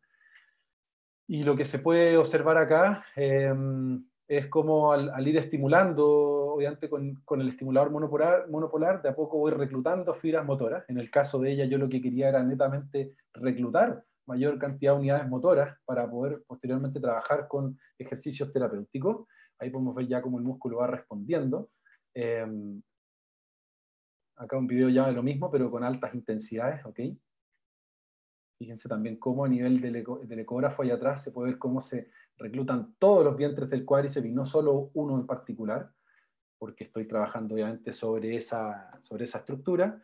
Em, y bueno, para posteriormente, como les decía, siempre complementar todo esto con ejercicios de control motor, de fortalecimiento, etc. Eh, la paciente fue mejorando considerablemente con cinco sesiones de tratamiento, eh, sobre todo lo que tiene que ver con el control motor, más que la fuerza obviamente al hacer una sesión semanal por cinco semanas, los cambios en la fuerza no se hacen tan evidentes como si se hicieron eh, a nivel del control eh, motor.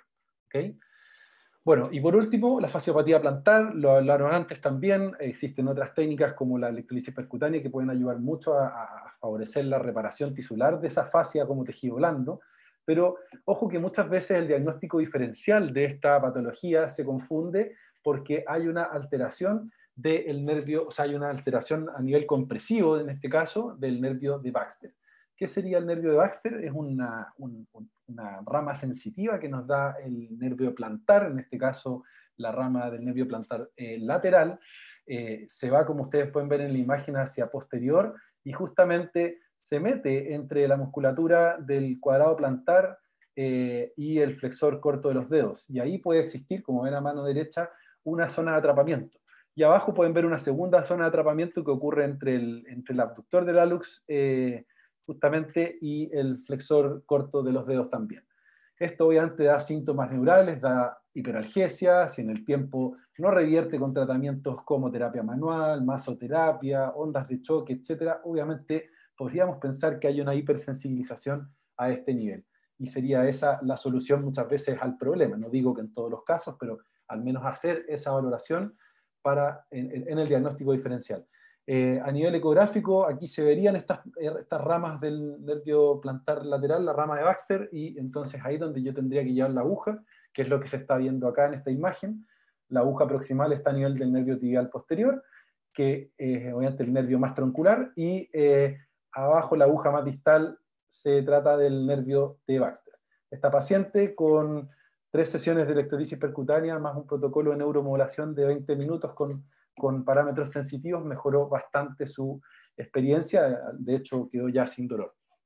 Bueno, eh, finalmente ya eh, Rodrigo habló un poco de este mismo enfoque, la idea no es casarse con una técnica, la idea no es decir, esta es la técnica que me va a solucionar todos los problemas, no existe una técnica que tenga la varita mágica para solucionar todos los problemas de nuestros pacientes, pero sí creo que es importante dar el mensaje que la neuromodulación percutánea puede ser una herramienta que hoy por hoy los kinesiólogos pueden tener a mano, ya sea formándose o teniendo un colega eh, dentro de su servicio que pueda realizarlo para poder ir dando soluciones a aquellos problemas que a lo mejor cotidianamente no podemos ir solucionando.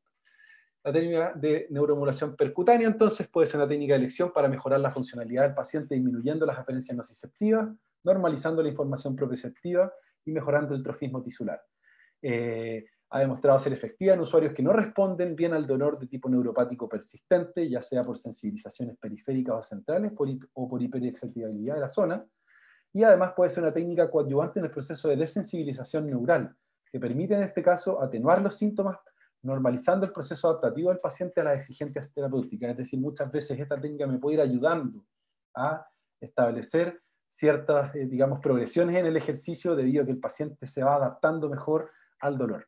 Por último, la neuromodulación percutánea para mí siempre debe ir acompañada de lo que hoy día tiene más evidencia en, lo que es nuestra labor, que son los ejercicios terapéuticos. Muchas gracias por su tiempo. Ahí abajo está mi correo. Cualquier duda que quieran escribirme, ojalá encantado de poder resolverla. Muchas gracias. Muchas gracias, Diego, por tu presentación. Eh, me consta que el, trabajo que has realizado en la clínica durante estos últimos años ha sido bastante exitoso y ha abierto un, sinfín de posibilidades a pacientes que muchas veces no han tenido los mejores resultados con el tratamiento conservador. Así que muy agradecido. Vamos a dar el paso a, eh, las preguntas. Vamos a partir con, con Ronnie. Ronnie, ¿hay alguna pregunta que, de las que te hayan hecho te gustaría responder? Eh, ¿Estás por ahí, Ronnie, o no? Sí, estoy acá. Ahí está. Sí, te escucho perfecto. Entonces quería ver si es que hay alguna pregunta de las que te realizaron eh, el público que quieras responder a, vía voz para que todos la. Sí. colega me preguntó cuál era la mejor forma de. O sea, si era, si era mejor trabajar de manera aislada el vasto intermedio o trabajarlo de manera en conjunta y si existía alguna técnica para trabajarlo. En realidad, eh, trabajar músculos o vientres aislados es bastante complejo, más todavía con el vasto intermedio, un músculo que no, que no logramos ver, y tendríamos que tener eh, eh fineware o electromiografía mínimamente invasiva cada sesión, así que yo lo veo poco, poco, poco probable.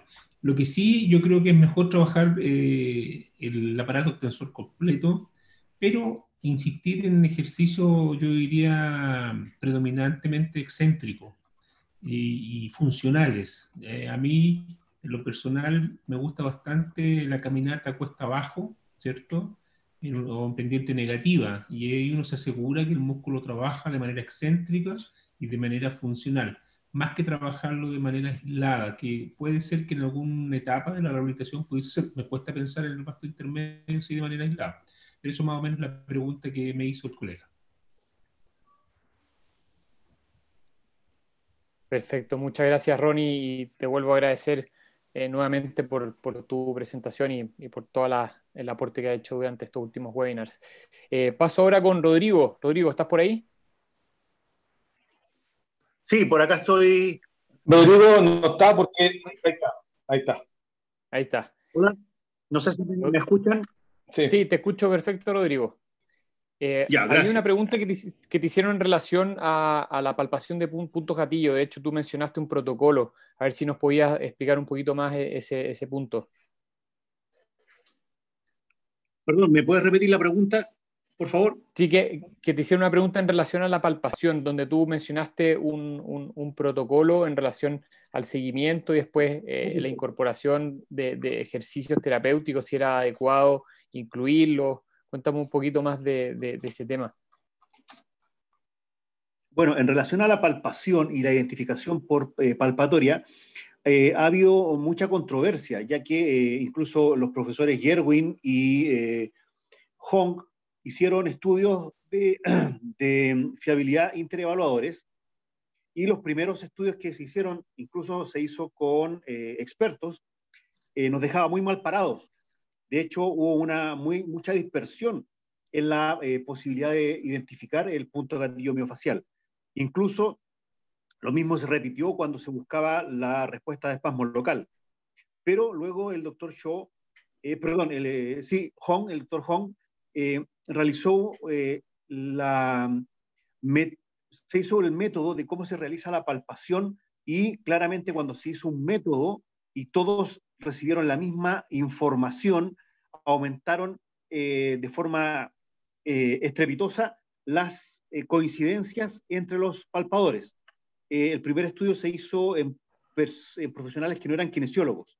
Cuando se hizo con kinesiólogos, la asertividad que hubo interevaluador fue mucho mayor. Y fundamentalmente se da en que tenemos que hacer una palpación primero de la banda tensa. Esta se hace de forma transversal a la banda y la palpación del punto gatillo se hace de forma longitudinal a la banda. Y luego se debe de marcar, a lo menos en dos posiciones, para tener vectores donde se cruzan eh, y se identifica el punto gatillo eh, de manera observacional eh, desde el punto de vista eh, del operador.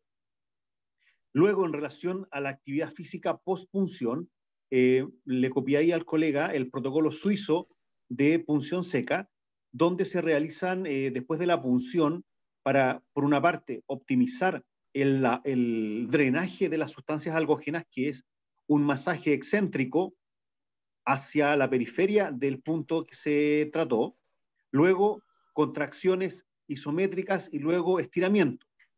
En relación a hacer actividad física posterior, es bien discutible, dado que eh, luego de la punción tú generas eh, reducción muchas veces del tono que tenía el músculo, por lo tanto puedes tener una pequeña alteración del control motor. Por ello, lo que sí está absolutamente indicado es posterior a la punción hacer ejercicios de control neuromuscular, más que fortalecer directamente, sino que ejercicios de coordinación y control neuromuscular. Eso sí está indicado. Perfecto, muchas gracias. Súper clara la, la, explicación. Pasamos ahora con Carlos. Carlos. Carlos, hay una pregunta ahí que te hizo Oscar Valencia que creo que tú la ibas a responder ahora en vivo, ¿verdad? Sí, no hay problema. Eh, ¿Se escucha bien? Que todavía estoy con internet inestable. Sí, ¿Sí? estamos igual. Está perfecto, perfecto. Ya. Ya, que de repente se escucha entrecortado. Mira, el primero él hace una pregunta con respecto a, al cálculo del jerk, que es una variable de, de estabilidad dinámica que ocupamos en el, en el caso reporte. Eh, para que, la gente que no esté familiarizada con este término, como dije en la presentación, el jerk es la derivada de la aceleración. Eh, se ocupa en varios estudios, lo han ocupado como un indicador de, suavidad del control de movimiento. Ya como es un cambio de tasa de aceleración, si tú mueves siempre a una misma aceleración, el jerk siempre va a ser bajo. Y cuando existen muchos cambios de aceleración, el jerk va a aumentar su, amplitud. ¿ya? Y como el paciente eh, yo siempre digo que para poder describir bien el movimiento, uno tiene que decir, o sea, o sea, veo al paciente caminar, es muy claro, ¿no es cierto?, que tiene mucho cambio de aceleración. Ahora, ¿cómo lo puedo describir eso? Y por eso ocupamos un acelerómetro, porque era lo más simple. Esto es un acelerómetro que pesa 30 gramos, entonces muy liviano. No es costoso, tiene alrededor eh, de costar como 100 mil pesos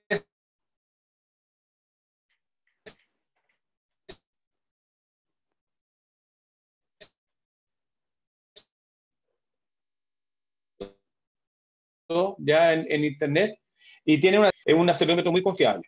Entonces, analizar estos datos de acelerómetro, que uno tiene que procesar esos datos, porque por sí sola la señal es difícil poder interpretarla, entonces uno tiene que aprender a veces a programar un poco y analizar los datos.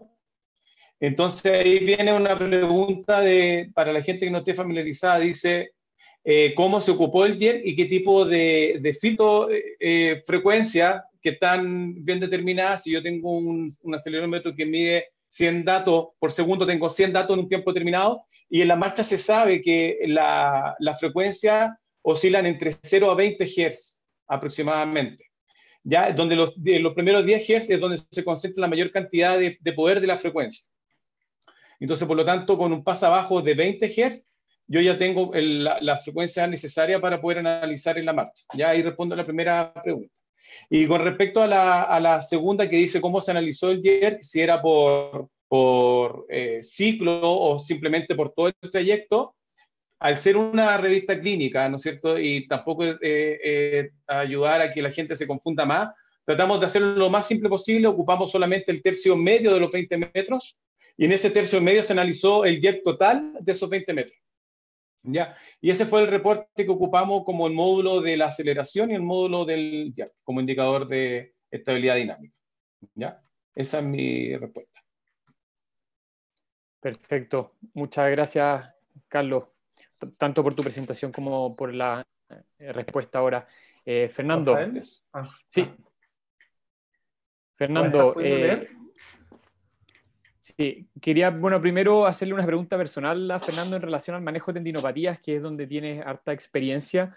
Eh, cuéntame un poco en, qué tendinopatías has tenido experiencia aparte de la tendinopatía patelar y cómo ha sido esta, evolución, sobre todo pensando en, deportistas, y cómo es tu protocolo para utilizarlo. Primero vas con la fisio, después con, con ejercicio terapéutico, ¿cómo, estableces tú el, tratamiento en este tipo de pacientes que son muy complejos por lo demás?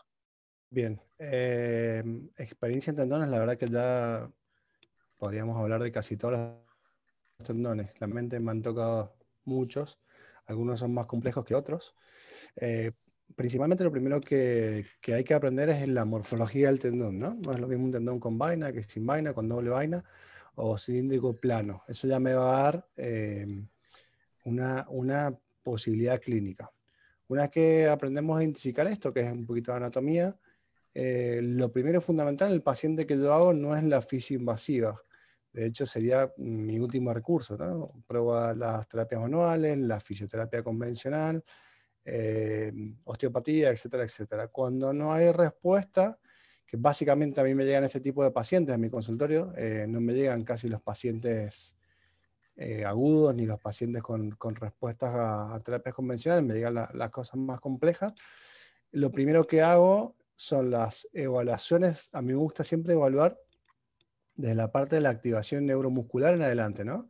Hago una evaluación neuromuscular, veo qué tipo de alteraciones tiene, hay veces que solo haciendo una evaluación neuromuscular, dinámica, activa, pasiva, como nos gusta cada uno, como cada uno está acostumbrado a hacer, ya puedo determinar un patrón y puede ser un punto asociado a una inhibición o una alteración periférica de algún nervio, o si es específicamente un tendón. Cuando ya identifico eso, eh, aplico la ecografía, tengo un ecógrafo con elastografía, bueno, algunos chicos me preguntaban de Doppler, entonces puedo evaluar la capacidad contráctil y la capacidad elástica de los tejidos. Em, el Doppler es una confirmación a veces de, un tipo de lesión en particular, sobre todo asociada a, mm, tendinopatías crónicas. Y también para responder unas preguntas que estaba ahí que me hacían los chicos, si el paciente, muchas veces me pasa, sobre todo en jugadores eh, profesionales de, fútbol, si un paciente, por ejemplo, le estoy evaluando un tendón rotuliano derecho, y el izquierdo, al evaluarlo, porque siempre se hacen evaluaciones contralaterales, tiene una imagen peor que el otro y es asintomático, no, no trabajo con técnicas invasivas de tendón, sino que solo trabajo el sintomático. Y después con los tendones, los más comunes son el rotuliano, Aquiles, fascia plantar, eh, supraespinoso, muchas cintillas, popítilos, tibiales posteriores. Eh, yo muchas eh, muchas tendinopatías insercionales en los glúteos medios también, por los tipos de deportes que, trato, y muchas alteraciones a nivel lumbar de los multifios sobre todo. Perfecto. Muchas gracias, Fernando, por la, por la, respuesta y por compartir de nuevo tu experiencia y por tu excelente presentación. Muy agradecido. Vamos a finalizar con, con las preguntas para Diego. Eh, Diego, ¿hay alguna pregunta en especial que quieras revisar de, lo, del público? Eh, bueno, tengo una pregunta que me hace Andrés Lastra, la cual desde ya agradezco, eh, que dice, Diego, ¿qué te parece utilizar los protocolos de LTP o LTD dentro de tu abordaje con neuromodulación percutánea y cómo evitas los efectos del estímulo antidrómico? bueno, los protocolos de potenciación o de depresión en general están estipulados, también según obviamente las escuelas que, lo tengan, en este caso yo fundamentalmente el DLTP o el DLTD en sí, yo no, estudié bajo ese modelo, pero entiendo perfectamente a lo que va porque he ido leyendo un poquitito. Eh, se, se, utilizan de ambas maneras eh, dependiendo de qué es lo que yo quiera buscar, obviamente, si es que quiero potenciar eh, a través del sistema neural o si es que quiero deprimir. Y en el caso de que, de que yo quiera generar una depresión postsináptica, lo fundamental ahí es, bueno, para bajar la señal obviamente y para generar también eh, un efecto analgésico, es utilizar obviamente bajas frecuencias eh, con tiempos eh, prolongados. Eso es importante, mínimo 15 minutos, no menos que eso, fundamentalmente para ir gastando, digamos, o, utilizando todas las, las, vesículas de neurotransmisores que están en ese minuto liberándose para que justamente se eviten estos fenómenos de, respuesta, digamos, antidrómica y todo lo demás. Por lo tanto, eh, sugiero ahí quizás que mm, basarse en protocolos que estén más o menos ya establecidos, probados, eh, como para evitar esos efectos, pero en el momento propiamente tal, es difícil saberlo, obviamente hay ciertas recomendaciones como si voy a generar un protocolo de, depresión, no generar mayor respuesta contráctil, por ejemplo, sino que simplemente el paciente sienta el paso de la corriente de manera constante y, digamos, agradable, ¿ya?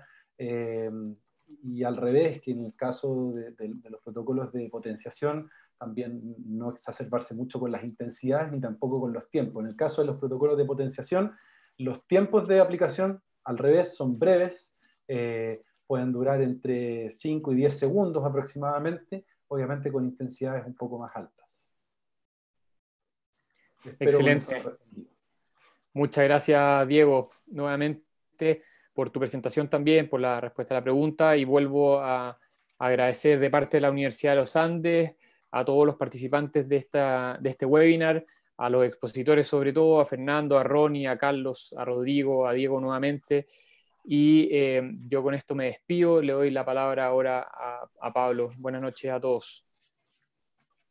Gracias, Rafael. En principio yo lo que tengo que decir es que he quedado asombrado de, de la capacidad y de la voluntad que tienen nuestros colegas para compartir, porque tienen un altísimo nivel científico. Eh, Ronnie, con su característica de, ser muy claro, muy práctico para demostrar y, conversar con nosotros, eh, dando la, importancia a la observación, o sea, la clínica, la clínica observada por medio de la ecografía, una herramienta que creo que cada vez vamos a tener que empezar a asumir los eh, kinesiólogos o fisioterapeutas, a tenerla más en nuestro arsenal tanto a Rodrigo con su clase, con su formación en la parte fisiológica, Carlos, al cual lo estimulo porque da gusto tener colegas jóvenes que estén cursando dos doctorados, sabiendo que cualquiera que ha tratado de seguir aprendiendo, el esfuerzo que genera esa, eh, esa condición de seguir este, aprendiendo y intentando generar un doctorado.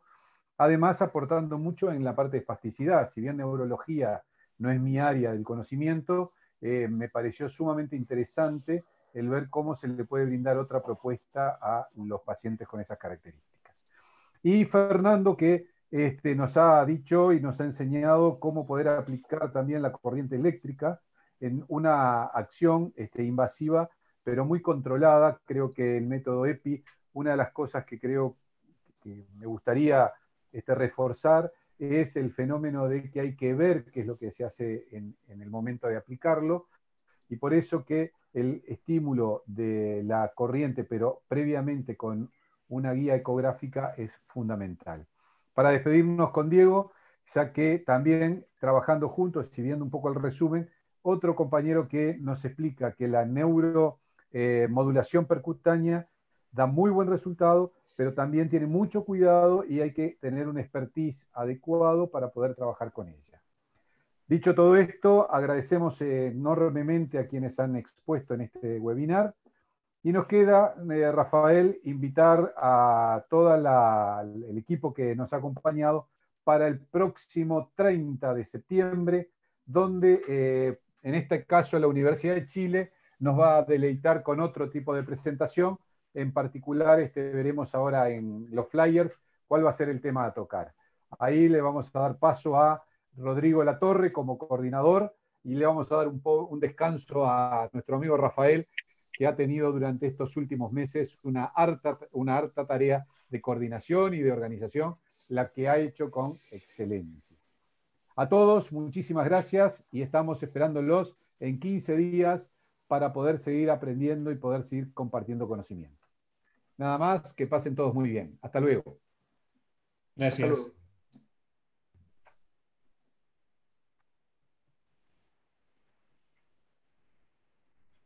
A los ponentes, si se quieren quedar un momento, eh, está saliendo rápida la gente. Creo que nos podemos quedar y ya nos despedimos por aquí. Chao, hasta luego. Muchas gracias por la invitación. Hasta luego. Adiós, gente. Muchas gracias. gracias. por la invitación.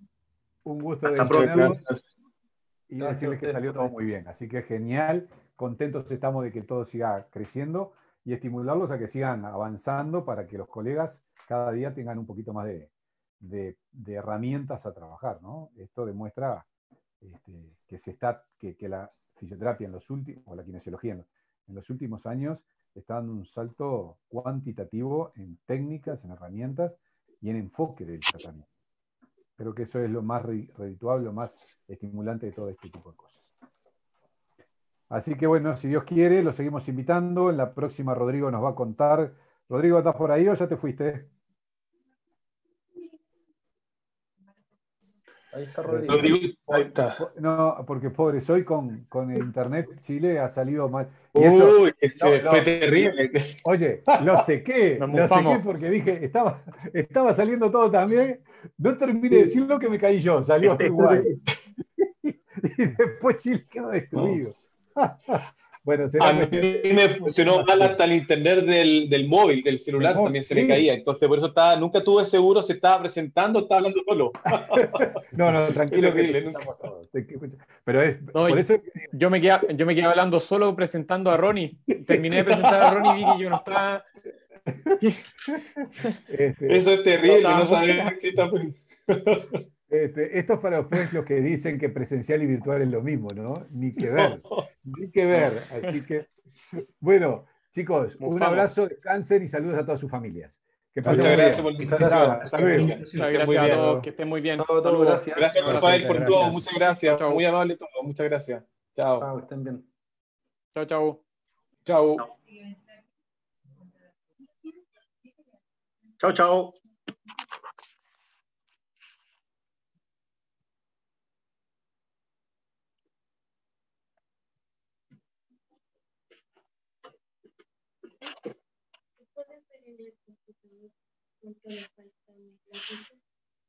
Ya.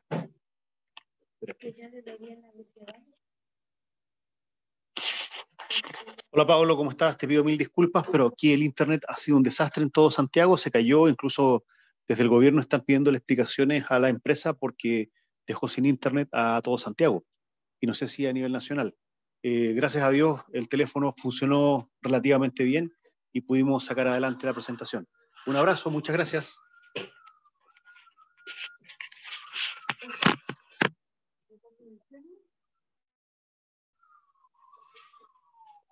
Dice aquí clase con las Ah, Qué rápido.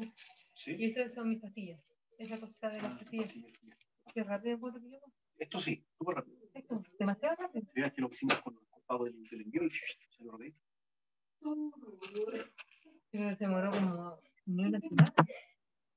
Eh, como dos semanas. Esta membrana.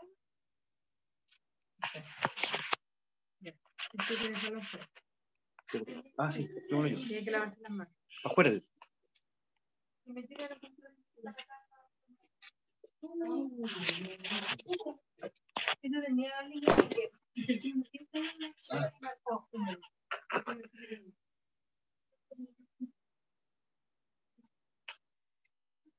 Por suerte salvé con el internet del teléfono, o si no, esto se va a la punta del cerro.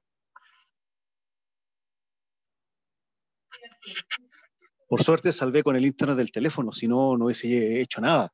Y justo coincidió en que después que terminé de hablar, me empezó a botar el internet también del teléfono. Seguramente toda la gente está pasándose a usar, eh, en este caso, eh, Entel. Y justo cuando me hizo la pregunta Rafael, tuve la posibilidad de ingresar y después que me quedé callado, pues de nuevo me volví a caer.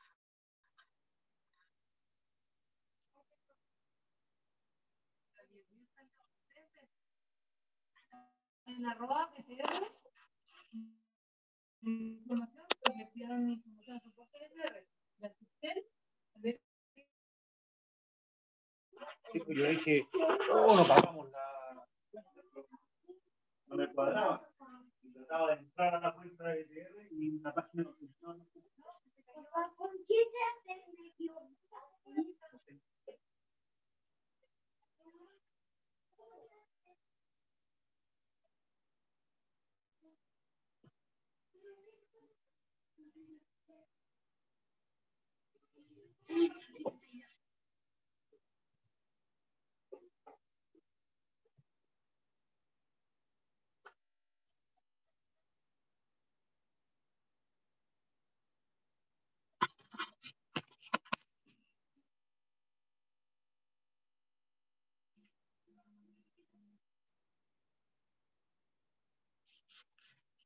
Muchas gracias, queridos amigos. Salió todo, al parecer, muy bien. Eh, lamentablemente, el Internet en Santiago de Chile se vino a tierra. Eh, una de las empresas grandes está, incluso hasta la, eh, el gobierno le está pidiendo explicaciones de por qué no está funcionando el servicio. Espero que todos hayamos podido presentar bien. todos los que tuvimos que tener la presentación a través del teléfono celular, no sabemos si es que funcionó bien o, o no tan bien eh, lamentablemente en el último momento cuando nos estábamos despidiendo, eh, el teléfono también me empezó a botar de internet, seguramente ya está colapsado también.